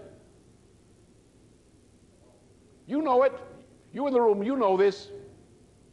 You were there, you saw it, you experienced it. I meet people, look, you meet people down the gym knew down, down, uh, down to various these meetings. Right? Met with them a couple of times. They're all friends. Who were they? These, some of these people who were leaders of civil rights in Alabama today were as children in jail under Bill, Jim Bevel's operation of the children. They're some of the best leaders in the world today. They're good people. They have the frustrations that all of you express. Where are we going? Where are we going? Where are we going? I said, You have to go to what you are. You already are that. You embody a tradition in the United States which is not a protest tradition.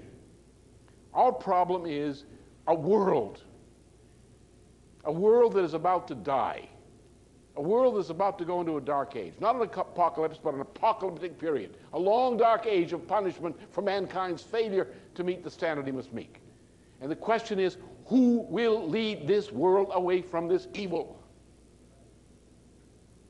Who is going to lead us out of the night? Where, well, the United States is the most powerful nation on this planet. Our constitutional principle on which the nation is founded is the right principle to do it. We have the principle, we have the power. How are we going to do it? Martin was right. You have to take these principles and seize them, and even let the least become most to lead in getting the United States to do what it must do for the sake of all humanity. Look, what we have to do, what I'm involved in. Helga was in China. That's part of the process. She was there speaking at a conference and participating in a conference in China. And the reason, one of the reasons she was there was because they were afraid to invite me. Not because of what I would do to China, but because of what some people in the United States might do to China if I were there. In the same period, Helga and I were in Moscow for, a, for an important conference, which I addressed. And we, you know, we have friends in the Sudan. We try to defend Nigeria against these people trying to kill it. We're defending all kinds of countries in this world, sometimes without much. We know this aching world. I know it personally. They need the United States to do the right thing as a world leader to start to bring some order in this planet. We're going to have to meet with the Russians, or hopefully, and the Chinese and others. The President of the United States is going to have to do that in order to establish a new monetary system under which we can get this world back into some kind of order. The way Martin spoke of it just before he died. That's what we're going to have to do. To have to do it. It's not just a slogan, it's something we have to do. Postpone business, delayed business. I've been working to, to establish the pathway by which this can be brought about. This kind of conference and effort. What you have to do is, you know, I was at a Baptist church here uh, in, Bing, in Birmingham today, and the preacher had something on the uh, don't underestimate yourself. Don't, don't proceed from low esteem. It's right. The problem with you people here in Alabama, you proceed from too low in self-esteem. You don't realize how important you are. Once you realize how important you are because you bear a special part of a tradition in this state, one of the lowest states in the United States in a couple of senses, right? That you made it for a while the foremost state in the United States because it was the state of Martin's leadership, the state of the struggle across the Pettus Bridge, and so forth. The things that made this civil rights movement function, that got two acts out of a president who was otherwise reluctant for civil rights, who, who made a mark on history that cannot yet be eradicated. Why should you have low esteem? You have within you those qualities which you once showed. And you have allowed yourself to be shrunken, to be made little and of lower esteem than you should be.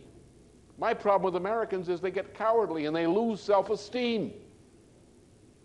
And you here in this room typify those in this state and in neighboring states who can do this, who can affirm this, get, get by the tiddlywinks and get back to the reality get by the little special projects, this deal, this deal, that deal, this deal, this caper, this gimmick, that gimmick. It's not going to work. What's going to work is revive the tradition and say, Martin is back. He's here again.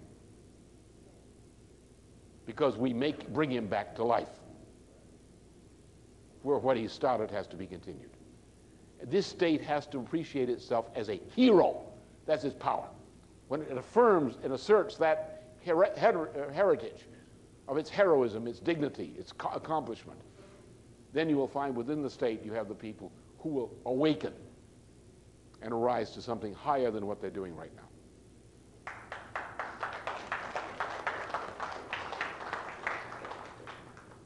Yes, Mr. LaRouche. My name is Viola Hassan, and I'm from Tuscaloosa, Alabama. And I've been here for about 20 years in the state of Alabama, and I've been a part of the Alabama uh, Democratic Party. And I do have a question, and I'm from the generation that asks a lot of questions. And you said a few things that I want to clear up in my head, and I followed you for a long time, and I think I've just about read everything you've written. Uh, my question is, um, you mentioned global economy. Are you saying that we should put that on the back burner now, or? No. But by this, the, the beginning of mankind's freedom from general slavery occurred in the 15th century in Europe. It occurred as a result of a long process leading up into this, of, which included education of orphans and boys from poor families in a classical education, which established from among the ranks of the poor an intelligentsia. And out of this came the idea that instead of having nations which were controlled by feudal or other oligarchies, in which most people were human cattle, and they cull them like cattle, just the way they want to do it today. Instead, you had nations which were nations of all the people. You know, as, as the Frederick Douglass effort, the first step of freedom from slavery is literacy, education. Freedom is knowledge. Knowledge is freedom, the power of knowledge. This was made possible by the establishment of the first form of modern nation state, which occurred in France between 1461 and 1483, under Louis XI of France, who was selected by a group in Italy, the same group that supported Jeanne d'Arc, Joan of Arc, and selected him to, as the crown prince, the, uh, the Dauphin of France, to be trained to become the future king of France as the successor to his father, to make France a nation state. And that was the first modern nation state. He created, began the first steps toward universal education by the state sponsorship, with schools which are modeled on a classical education, the brotherhood of the common life. He began a project of building public works to unify the nation, promoting economic development. During his reign of about 22 years, the national income of France doubled and the first nation state occurred. So the process of bringing people into a combination of education and using knowledge to change the way we behave in order to increase our powers over nature began there. The United States, established during the 18th century, was in that tradition. It had nothing to do with this Locke or nonsense. That Locke is a slaveholder. It had nothing to do with the United States. What the Democratic Party often teaches is a bunch of crap. It's not true. The United States was founded by people who realized that we had lost the battle in England, particularly in 1714, earlier in 1603, but 1714, and came here, as they did also in part from France, to build a nation of the type that they believed could not be built in Netherlands or England. And they formed colonies which were not colonies of the British Parliament, but were simply crown entities, commonwealths in large degree states which were semi-autonomous states, their own government, with certain fealty to the English British monarch, which were based on constitutional orders, which were consistent with the idea of the nation state. For example, the first printed money, successful use of printed money as a currency, occurred in the Commonwealth of Massachusetts in the 17th century. That was the model for which the relevant features of our Constitution were established. Now, in this process, the motive was clear behind the formation of the federal constitution that states' rights don't work. States' rights are the road to death of a nation. That it's only the federal government which could ensure the development of roads, canals, and other infrastructure the protection of a national currency and its regulation, the regulation of tariffs and trade, the promotion of inventions, the national defense, and so forth, that this state was essential to accomplish the purposes of life. Thus, the nation state, which until 1966 1970 was the aspiration of people all over the world to have a nation state, a sovereign nation state with the right to make tariffs, the right to reject NAFTA, the right to reject GATT, and things like that, was the, and to create infrastructure, to have public educational systems, to promote inventions. This is what people desired all over the world, and they looked to the United States as the model. What has happened is in a recent period of time, people who believe in world government will tell you they're trying to destroy big government in order to establish the power of bigger government, world government, the United Nations as world government. There are many people today who in the State Department would say we should have world government. There are people who say, when they say global economy, they mean that we should produce only where it's the cheapest, which means that we should ship our jobs out of the United States to wherever the slave labor is willing to work for the cheapest price. We are destroying ourselves with that. We're destroying the world. We must go back to a non-global economy, a non-global society. We should turn the United Nations into a picnic grounds, not a government. Let the diplomats who can't talk to each other otherwise have a place to meet and discuss. That's fine. But it should have no governmental authority whatsoever. Every nation state must be absolutely sovereign. Only in that way can the rights of the individual be secured. Only with a nation state can the citizen be a citizen. Can the citizen participate in government? Under a global economy, you have no control over anything. Only the international oligarchy controls things. So therefore, having a government, our government, which we must control, according to constitutional principles, is the essential thing, protection of our rights as an individual and the protection of our economy. I have one more question, please. One.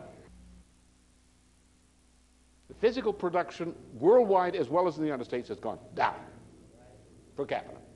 Over the same period, the amount of money put into circulation has gone up. In the same period, in addition to money going up, we have gone into real estate and financial speculation of a new order.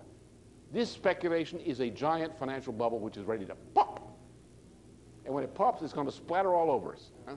No banking system, no economy, no nothing. Therefore, what you have to do is like having the whole local economy bankrupt, you have to put it into bankruptcy reorganization, which means the president has emergency powers. So the president one day says, okay, under my emergency powers we're down here, which you voted for in the 1970s and various legislation, I'm putting the Federal Reserve System into bankruptcy because it's bankrupt because it never could pay the obligations which it's incurred. Therefore, it's bankrupt. And if I let it go, it's only going to be worse. So put it in bankrupt. Put it in mercy. Give it, call Dr. Kevorkian, right? whatever. Right? got a case for him. now, what you have to do, you can't go without a banking system.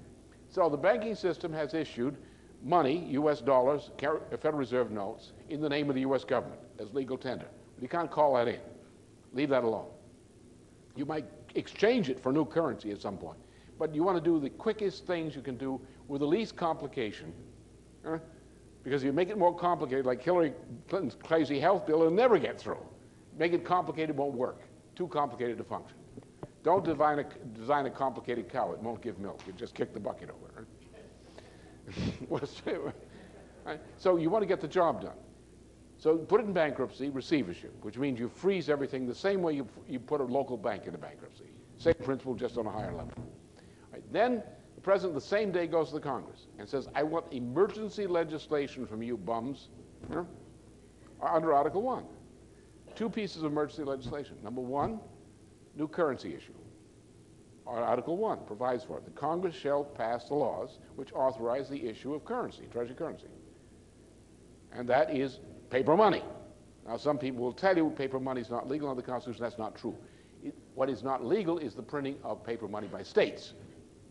That's illegal. Huh? Because the federal government has a monopoly on that. The states are only allowed to print specie, not, not, not paper money. The federal government alone has a monopoly on that. We get several trillion dollars of it. Authorization, the Treasury to print paper money. Also, bank National Banking Act. National Banking Act will set up national banking to replace central banking, Federal Reserve banking. Now, the function is the national bank must take the currency which the government prints and it's going to loan it as credit. In other words, the government is creating credit to issue to our citizens. Now, this credit will go out on the basis of terms which are probably agreed to between the Congress and the President. The idea is that we take certain major projects, which come under item three, National Recovery Act. We take certain list of projects, such as known established projects. Take Tombigbee. Now, Tombigbee could, should be completed and expanded in this area. It's easy to do because the plans are already there, which means that you get the bill through, you can start hiring tomorrow, and you can start taking subcontracts out tomorrow. It means you combine the Tombigbee project with a power project. We need a lot of power in this area if we're going to reindustrialize. So we'll put some power plants into the package. We'll also add some other environmental things that have to be done at the same time, and some provision. So we're going to stimulate this area, for example, and do the same thing in other parts of the country. Get, it, get people to work. Now, at the same time, we've got to have a new international monetary system because we've got to put the IMF out of business. Again, Dr. Kevorkian got another case for you. IMF. Close it down. Because, and how do we do that? Well, the president will call, as this fourth measure, an international monetary conference which would include several world powers. It would allow the British Empire to come because we're going to kick them. And if they're there, it's easier to kick them. Secondly, we're going to invite the Russians. We're going to invite the Chinese. Now that completes the list of world powers. There are no other world powers. Then you have a lot of other nations Western Europe, other parts of the world, India, and so forth. So you invite them too. You can have a monetary conference. You want to keep it simple as simple as James Carville would like to keep it, practically. He likes to keep things simple. And simple is we are going back to the system of fixed parities of currencies that we established under the Bretton Woods Agreement. And we're going to have a gold reserve based system to stabilize those currencies. And we'll figure out how we're going to do that. Also, we're going to cease the business of central banking, that is private banking, we're going to have only government banks, national banks. We'll have an international system of national banking and regulated currency regulation, monetary system, under which to promote international trade and investment at low borrowing costs. And that's, that, that will do it. All you have to do is get some madman like me up there saying, let's get the jobs going, and you put a, you put a measure on. What I did some years ago, I said, six million jobs a year. Get rid of those hamburger flipping jobs, those service jobs, and get some real jobs in the economy to absorb the unemployed and the misemployed. And have a target, say something like six million or whatever a figure that makes sense a year, new jobs. And the job is to get the credit going out there, to get the, and we used even the bankrupt local banks Say you're bankrupt, okay, we'll put you in government receivership. You're a decent banker, you haven't, it's not your fault, okay, stay here. You know your local customers. What we're going to do with you under this Banking Reorganization Act, we are going to set you up back in the banking business. You've got some deposits and other things you've got to pay off. We'll help you with that, with credit. What you're going to do is you're going to process government loans to your local customers for purposes which we'll designate to you at your rates. Now, if you get some deposits, you can also participate, say 1%, 2%, whatever, in these loans, because you can take a part of the loans. And that'll get you back in business because we need a local bank. Because only the local banker knows whose customer, which customer is which. So we need local bankers. So we'll set that into place. And on that basis, get the jobs going, get the country moving. We did it before in World War II. You pick out what we did in World War II, we made a lot of mistakes, we made a lot of mess, but it worked. And that's what we're going to have to do. Make a lot of mess, make a lot of mistakes, but it's going to work. And people will be happy because they will see things are getting better. John? I have one question. I don't I don't intend to interrupt, but we're going the way we're going is just right. But I know of one person that seemed to have caught a lot of people's imagination. and we don't hear anything about him now. what will, what has happened to Colin Powell? Will he be able, he had one idea, it seems to me, and that was to get people back to working together. I think that's why he was so popular. But now, we can get along without him if we have you.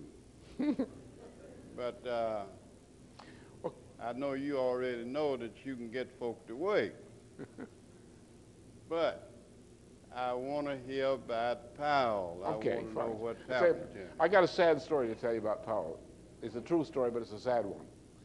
Colin, Colin is not called Sir Colin Powell. He's called General Sir Colin Powell because he did such wonderful work for the British Queen in killing people of darker skin in the Middle East. Now, Colin Powell's popularity, I'll tell you who gave, who got it, gave him his popularity. There was a certain group of people. There was a fellow called, a, a fellow whose grandfather was a founder of the Ku Klux Klan. Hmm? His, it was named Bernie Baruch. He was very famous in my time. Huh? And Bernie Baruch was one, the banker who banked for Churchill. He saved Churchill's butt. See, Churchill was part American. He married a family in Virginia, his father did. And he was close to the Guest family, which is one of the local swine we have up in Virginia. You didn't know we raise swine, they're two legged. Huh? They're called oligarchs, and they, they ride horses and chase foxes and things like that. All right, so the Guest family is called. Uh, One of the Guest family members was the Lord Lieutenant of Ireland. You can imagine what that is. But in any case, so uh, Colin, this, this Bernie Baruch, when the time came that the United States entered World War II for, and for the operations in Europe, that it was obvious that the United States would not accept anything but an American commander of the Joint Allied Forces for Europe. So Churchill pulled a, a fast one. He said, okay, I got to take an American commander. Which one will I take? And so Bernie Baruch said, I own one. Colonel Eisenhower. Colonel Dwight Eisenhower, who I bought or I stole away for a few pennies from Douglas MacArthur, for whom he used to clerk. So that's how Dwight, and so Churchill said, okay, we'll pull that slick one. So they got Dwight Eisenhower adopted as acceptable to the British commander of the Allied forces in Europe. Then at the time, after they got rid of, Eis- after they got rid of MacArthur, which was done by Truman on orders from London, that Eisenhower was brought back to the United States by Bernie Baruch. And Bernie Baruch rigged the convention to get Eisenhower the Republican nomination, and Bernie Baruch organized the forces to make Eisenhower president, or as I call him, Dwight Eisenhower. Because he was a little bit of this and a little bit of that. huh? Now, Colin Powell, even though Bernie Baruch is dead, his dirty ghost rattles on. And the people who, for Bernie Baruch, put Eisenhower in that position own Colin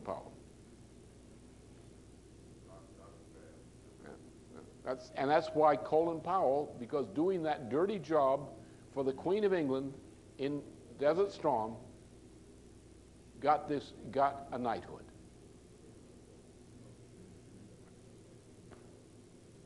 People are bought, you know, in various ways. Thank you. Uh, My name is Richard Boone, and I'm just wondering, I want to ask this question, if the atonement, uh, which I'm aware that you played a great part in bringing about, led by Minister Farrakhan, is a part of the continuing program at this point to reestablish the dream uh, of the movement uh, in America. Uh, it seems that uh, there are a lot of Hamlets out there hung up on uh, several things, but uh, we can lick this ghost if we can just establish the dream once again. The dreamer is dead, but that does not necessarily kill the dream. Yeah. Uh, a lot of people are not aware of what the dream really is of Martin King. It's not black people and white people w- walking together, but it's black people and white people working together. And uh, therefore, we have forgotten the part where Martin tells us if you see a man in distress, do not stop to ask the question, if I stop to help him, what will happen to me? But rather, you must ask, if I don't stop to help America or this person, what will happen to it or to him? Is your program as president uh, geared toward healing this problem and bringing us back into the central focal point of the dream? Absolutely, I think, but I don't think practical measures alone will do it. I think that in a time of conflict, it's very easy to get alliances of people who recognize they have a common interest and who will ally out of a kind of a negative motivation of realizing that they have to ally because of what will happen if they don't.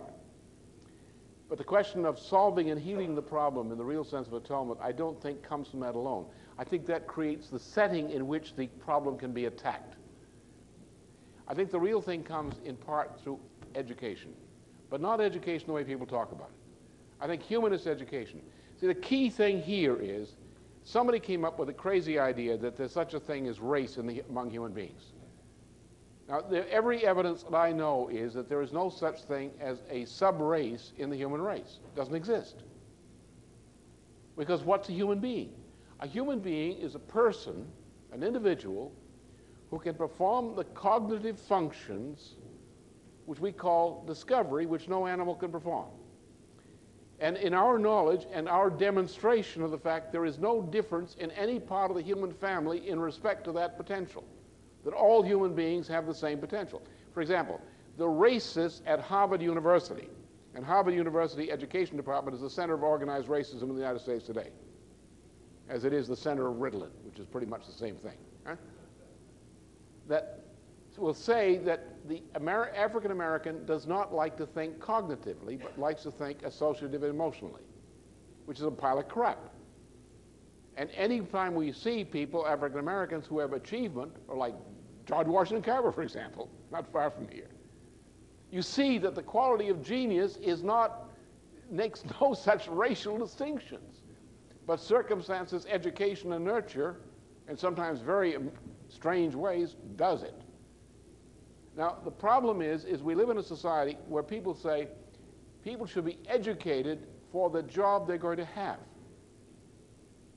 Oh, this one is going to be a, he's going to be a carpenter, so let's educate him to be a carpenter. We don't need to educate him in anything else. But once you get to the idea of humanist education for citizenship, to bring forth so every person should have, be a repository of the discoveries of mankind up to that time as children and the education should continue until that primary goal is realized. And then a person is qualified to vote. When they've done that, because they're now a true citizen. Once you get to that point and realize that in the sharing of the cognitive aspect of humanity, as opposed to the muscular aspect of humanity, then you realize that this withers away. Because it was never true and it's always been a mistake. And only when people prize their own cognitive powers as being humanity. Uh, for example, they take a little simple thing that every adolescent goes through, every child adolescent. Little girls especially. Am I pretty? Am I pretty? The self-esteem is associated with the degree one, which one perceives oneself to be pretty. Or am I able to dress well? Do I look good? Can I afford to look good? Can I live in a neighborhood where I look good? Huh? Or can I, do I have the right friends, the smart friends? Can I get into the country club? Do I get my name in the right society page of the newspaper or whatever? That these, or do I win the race? Was, you, you're a fast runner? I got a horse that can beat you. Huh? These things are not the things that mark a human being, but rather cognition, the sharing of, of ideas. And when we can learn the principle of that, and as I say, the principle of agape, the way Plato describes it, the way uh, the Gospel of John emphasizes it, and also Paul in the epistles. When you, when you get people to that level, that kind of education, then it doesn't make any difference. Then the healing is there, the teaching is there. And that's what we have to get to. I think, however, that the context of the alliance is the way to do it. When you're fighting with your brother in the trench, same trench, you tend to get kind of close and begin to try to look for similarities rather than differences.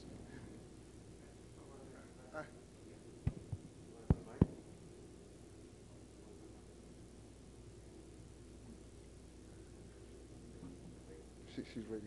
Sure. Madam, madam, do you want to answer that?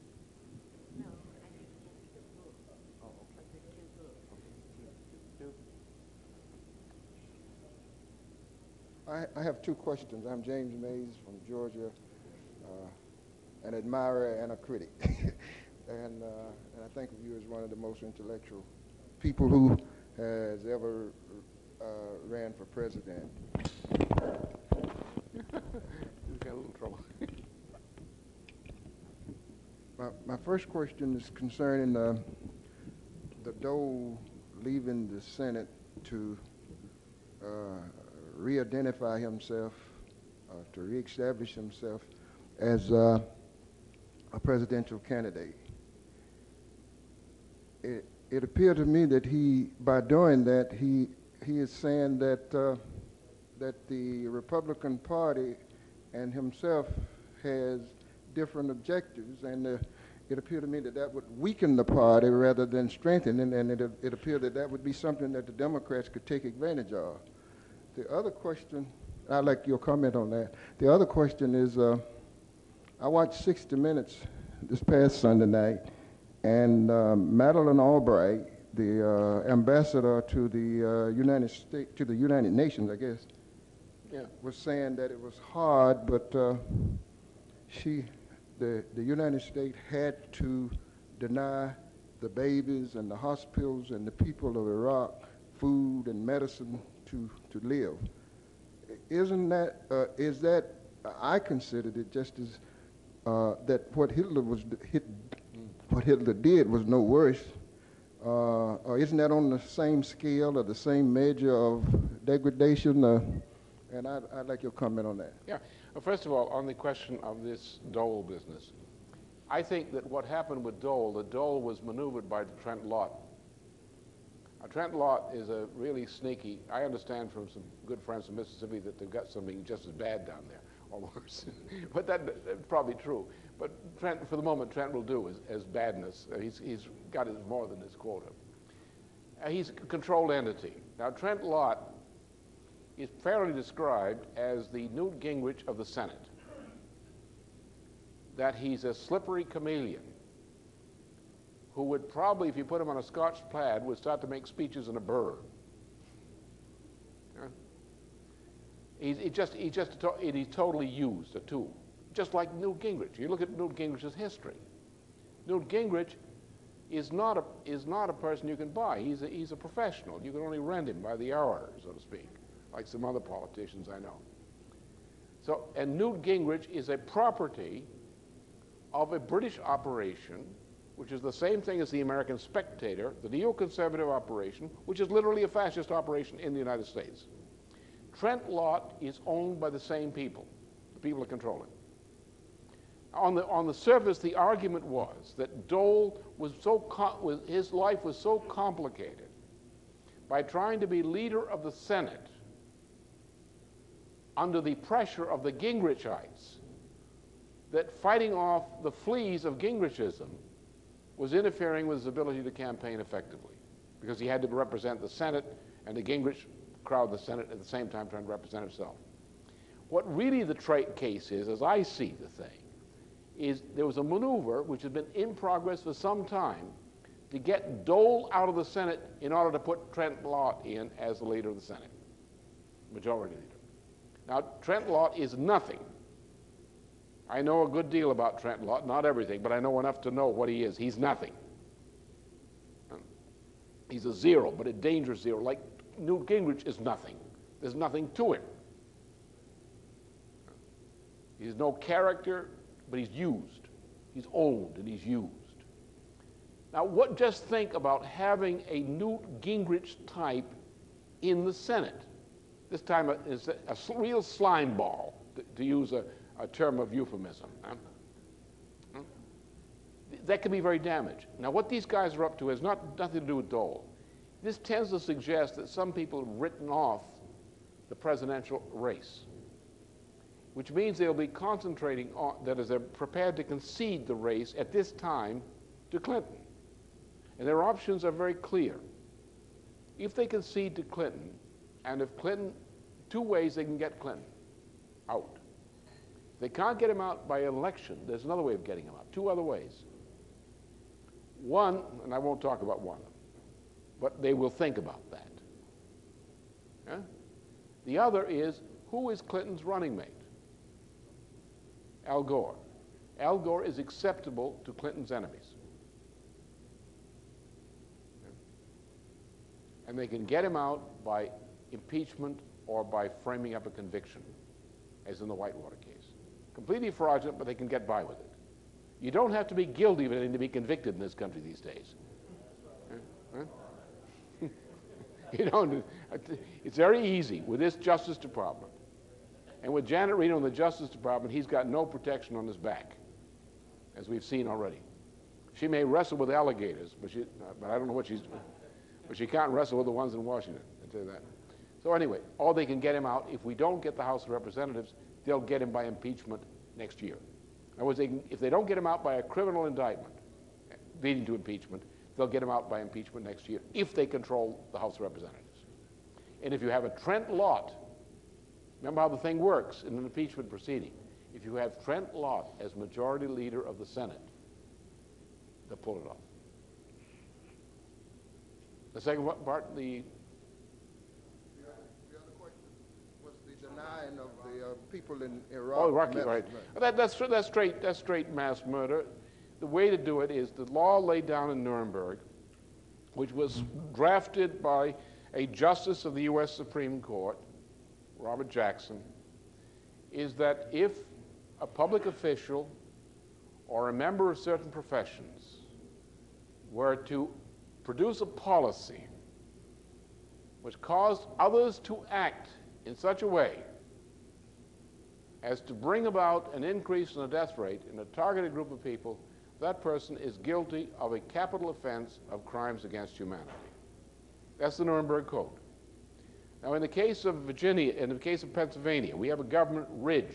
I can't like to think of him as Gov Governor Ridgeback, eh, if you know what I mean, who had tried some time, a short time ago, to get a bill through which would have deprived about oh, some 300,000 people of protection of health care, that is, people who need it. And I attacked this and said this is a crime against humanity. And my friends took that message to the Pennsylvania legislature. Now, in the legislature, there were 100 Democrats and 101 Republicans. At that point, all but one or two Republicans were going to vote for this bill, and a number of Democrats were going to go along with it on the interest. We kind of balance the budget, haven't we? So we put this message in. Well, anybody who does that, if you do that, then you are guilty under the Nuremberg Code of a crime against humanity because you have willfully and with foreknowledge or should know that the, message, the policy you are adopting will cause the wrongful death rate increase among this population of people. Therefore, you're just like somebody who ordered killing in a concentration camp. No difference. So that worked. What happened is the Democrats went solid in opposition, and they got 20 Republicans to go along with them, and they defeated. Now, Ridgeback is coming back with another version of the same legislation. And I'm going after him again for crimes against humanity and repeatedly advocating this. In the case of the policy in, against Iraq, unjustified warfare, and there is such a thing as unjustified warfare as opposed to justified warfare. There is no justification for what's being done to Iraq. It is mass murderous. You are right. It is a Hitler like crime against humanity, perpetrated by the United Nations, which also was guilty of Hitler-like crimes against humanity in the Balkans, in its conduct of the Balkan Wars. Cyrus Vance was guilty, American citizen who worked for that. Lord Carrington was guilty. Kissinger Associates helped set the operation up years ago for money. They're guilty. So, yes, it is a crime against humanity.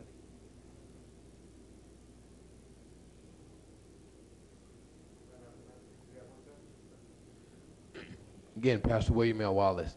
Uh, the gentleman before men- mentioned Minister Farrakhan's Day of Atonement. What part did you play in that uh? Well, what happened is, is Jim Bevel talked to me about this, and we had a meeting arranged for me to meet with Farrakhan back in 1994. And so uh, it was with a lot of the leadership of the Nation of Islam together. So Jim was there, and Dennis Speed was there. And for the most of the time, and, I, and Jim spoke to me about this idea about the atonement idea, that he was encouraging Farrakhan to uh, have a million man march. And I told him I agreed. And Farrakhan said that Jim was pushing it too fast. And I said, well, I think that's true. And I supported the idea of the atonement. So we had a discussion during that meeting at which it was agreed that the march would be based on the Jim's proposal on atonement in that meeting we had in Washington. And after that, we of course we were in touch back and forth on this thing constantly. So I supported it. Then there were some people who were very unhappy, including Jesse Jackson, about my involvement in this. They were also unhappy about Farrakhan's involvement in it. He was also. And so things got somewhat pushed aside. Amelia was on the stand uh, representing us at that point. And it didn't always go too well, but, but Minister Farrakhan was coming under some very severe pressure from various points at that, at that point. So the thing worked. The problem is I've been concerned about, uh, since then, I've talked to him about it. We met again on this. We've been in touch a few times. Yeah, but Farrakhan's a friend of mine. I, we don't always agree on everything, but we're friends and basically would defend one another, I guess. Uh, and so it, it, the point is, is going further. What I'm very concerned about is, is not going the way it should go. I think it should be much more active. It's not just an NOI project, it's much broader. There were, there were over probably about, about plus or minus 2 million people there, without doubt. So that's a, and the, we know what the composition was of the participation in the march that this is really representative of the African American male community in this country. And it's a very responsible bunch of people who were there, who represent people who were actually looking for something. And this was the image of Martin Luther King really invoked in this point. And that's what got people out. It was, yes, Farrakhan made the call, but the spirit of Martin Luther King actually made it happen in terms of what people had turned out. And I don't think we're doing enough with it. That's what my big concern. Last point. Uh, I reason I mentioned that uh, because I'm from Tuscaloosa, West Alabama. Uh, God has given me a vision for a Day of Atonement in Tuscaloosa County coming Sunday, and uh, the call is for 100,000 people to come together, Christian, Muslim, Jews, and to reestablish a vision for a future for our people. It'll be three days of atonement, Friday, Saturday, and Sunday.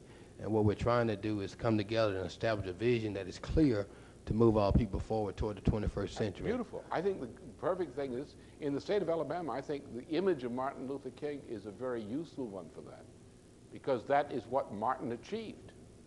Exactly. Also, within the vision of the campus of the University of Alabama, the quad is the location, and I've caught a few snares trying to secure it with the local county and city government, but we're working through that process, and it's very vital. When you said that, it just sort of quickened my spirit, and I was just interested in what role that you play. Absolutely, we need that. We need that because when people get together, you see what happened in Washington.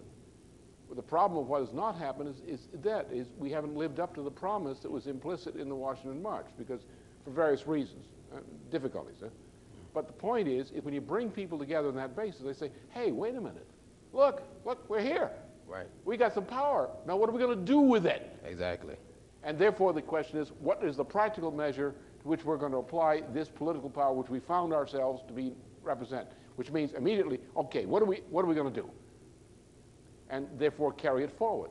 I, in this kind of case, I believe that rather than over formalized action, what is needed in a period of election campaign is rolling action. Whatever is good, do it.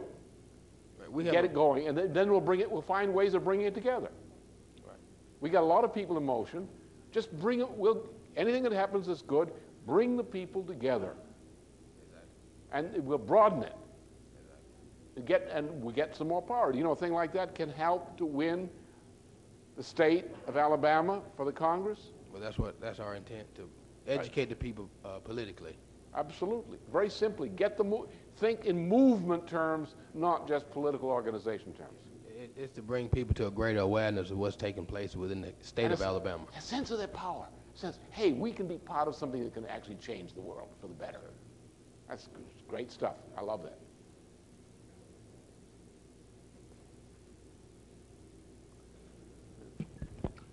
I'm Bob Goodwin. I'm sort of concerned about the ultimate outcome of 96 election.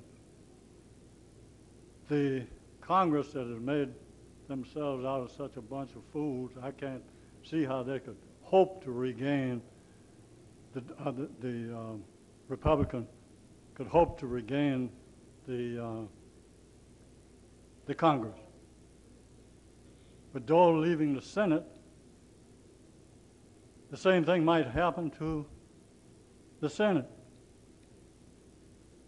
What's the possibility of a Dole presidency and a con- uh, Democratic total Senate and Congress? Two way, there are a couple of ways it could happen. Number one, we have the third party option going. A third party option of Perot, Fulani, Pratt, and so forth is an amalgam protest vote which targets obviously the Ku Klux Klan, Lenora Fulani, we're trying to get some black vote, the militia movement, and whatever Perot can scrape up with money. And these days, money buys a lot of people, unfortunately. So it's a very dirty operation, which is really a, an intelligence community operation against the presidency. The presidency is vulnerable on security. Never overestimate or underestimate the tendency of certain people to use a killer machine for certain purposes. They will. And Dole is an acceptable op- option to the people who would like to kill Clinton. Don't forget that. So they win. On Dole as such, Dole could win. Tell you how. Very obvious to me. First of all, if Fowler and Dick Morris and company continue to control the president's election policy, the president's uh, the confidence in the president is, will drop. If now, if Dole reacts on a Second World War veteran profile, and you have a major financial crisis, and the president continues to scream, there is no crisis, there is prosperity, there is growth, there are problems, but there is growth, there is no crisis. We must stay with the IMF system. Under that condition, the president would discredit himself. And a panicked people in a crisis period might be attracted to Dole because he is a World War II veteran when they no longer trust themselves. So there is a possibility. And there are combinations and permutations of those combinations.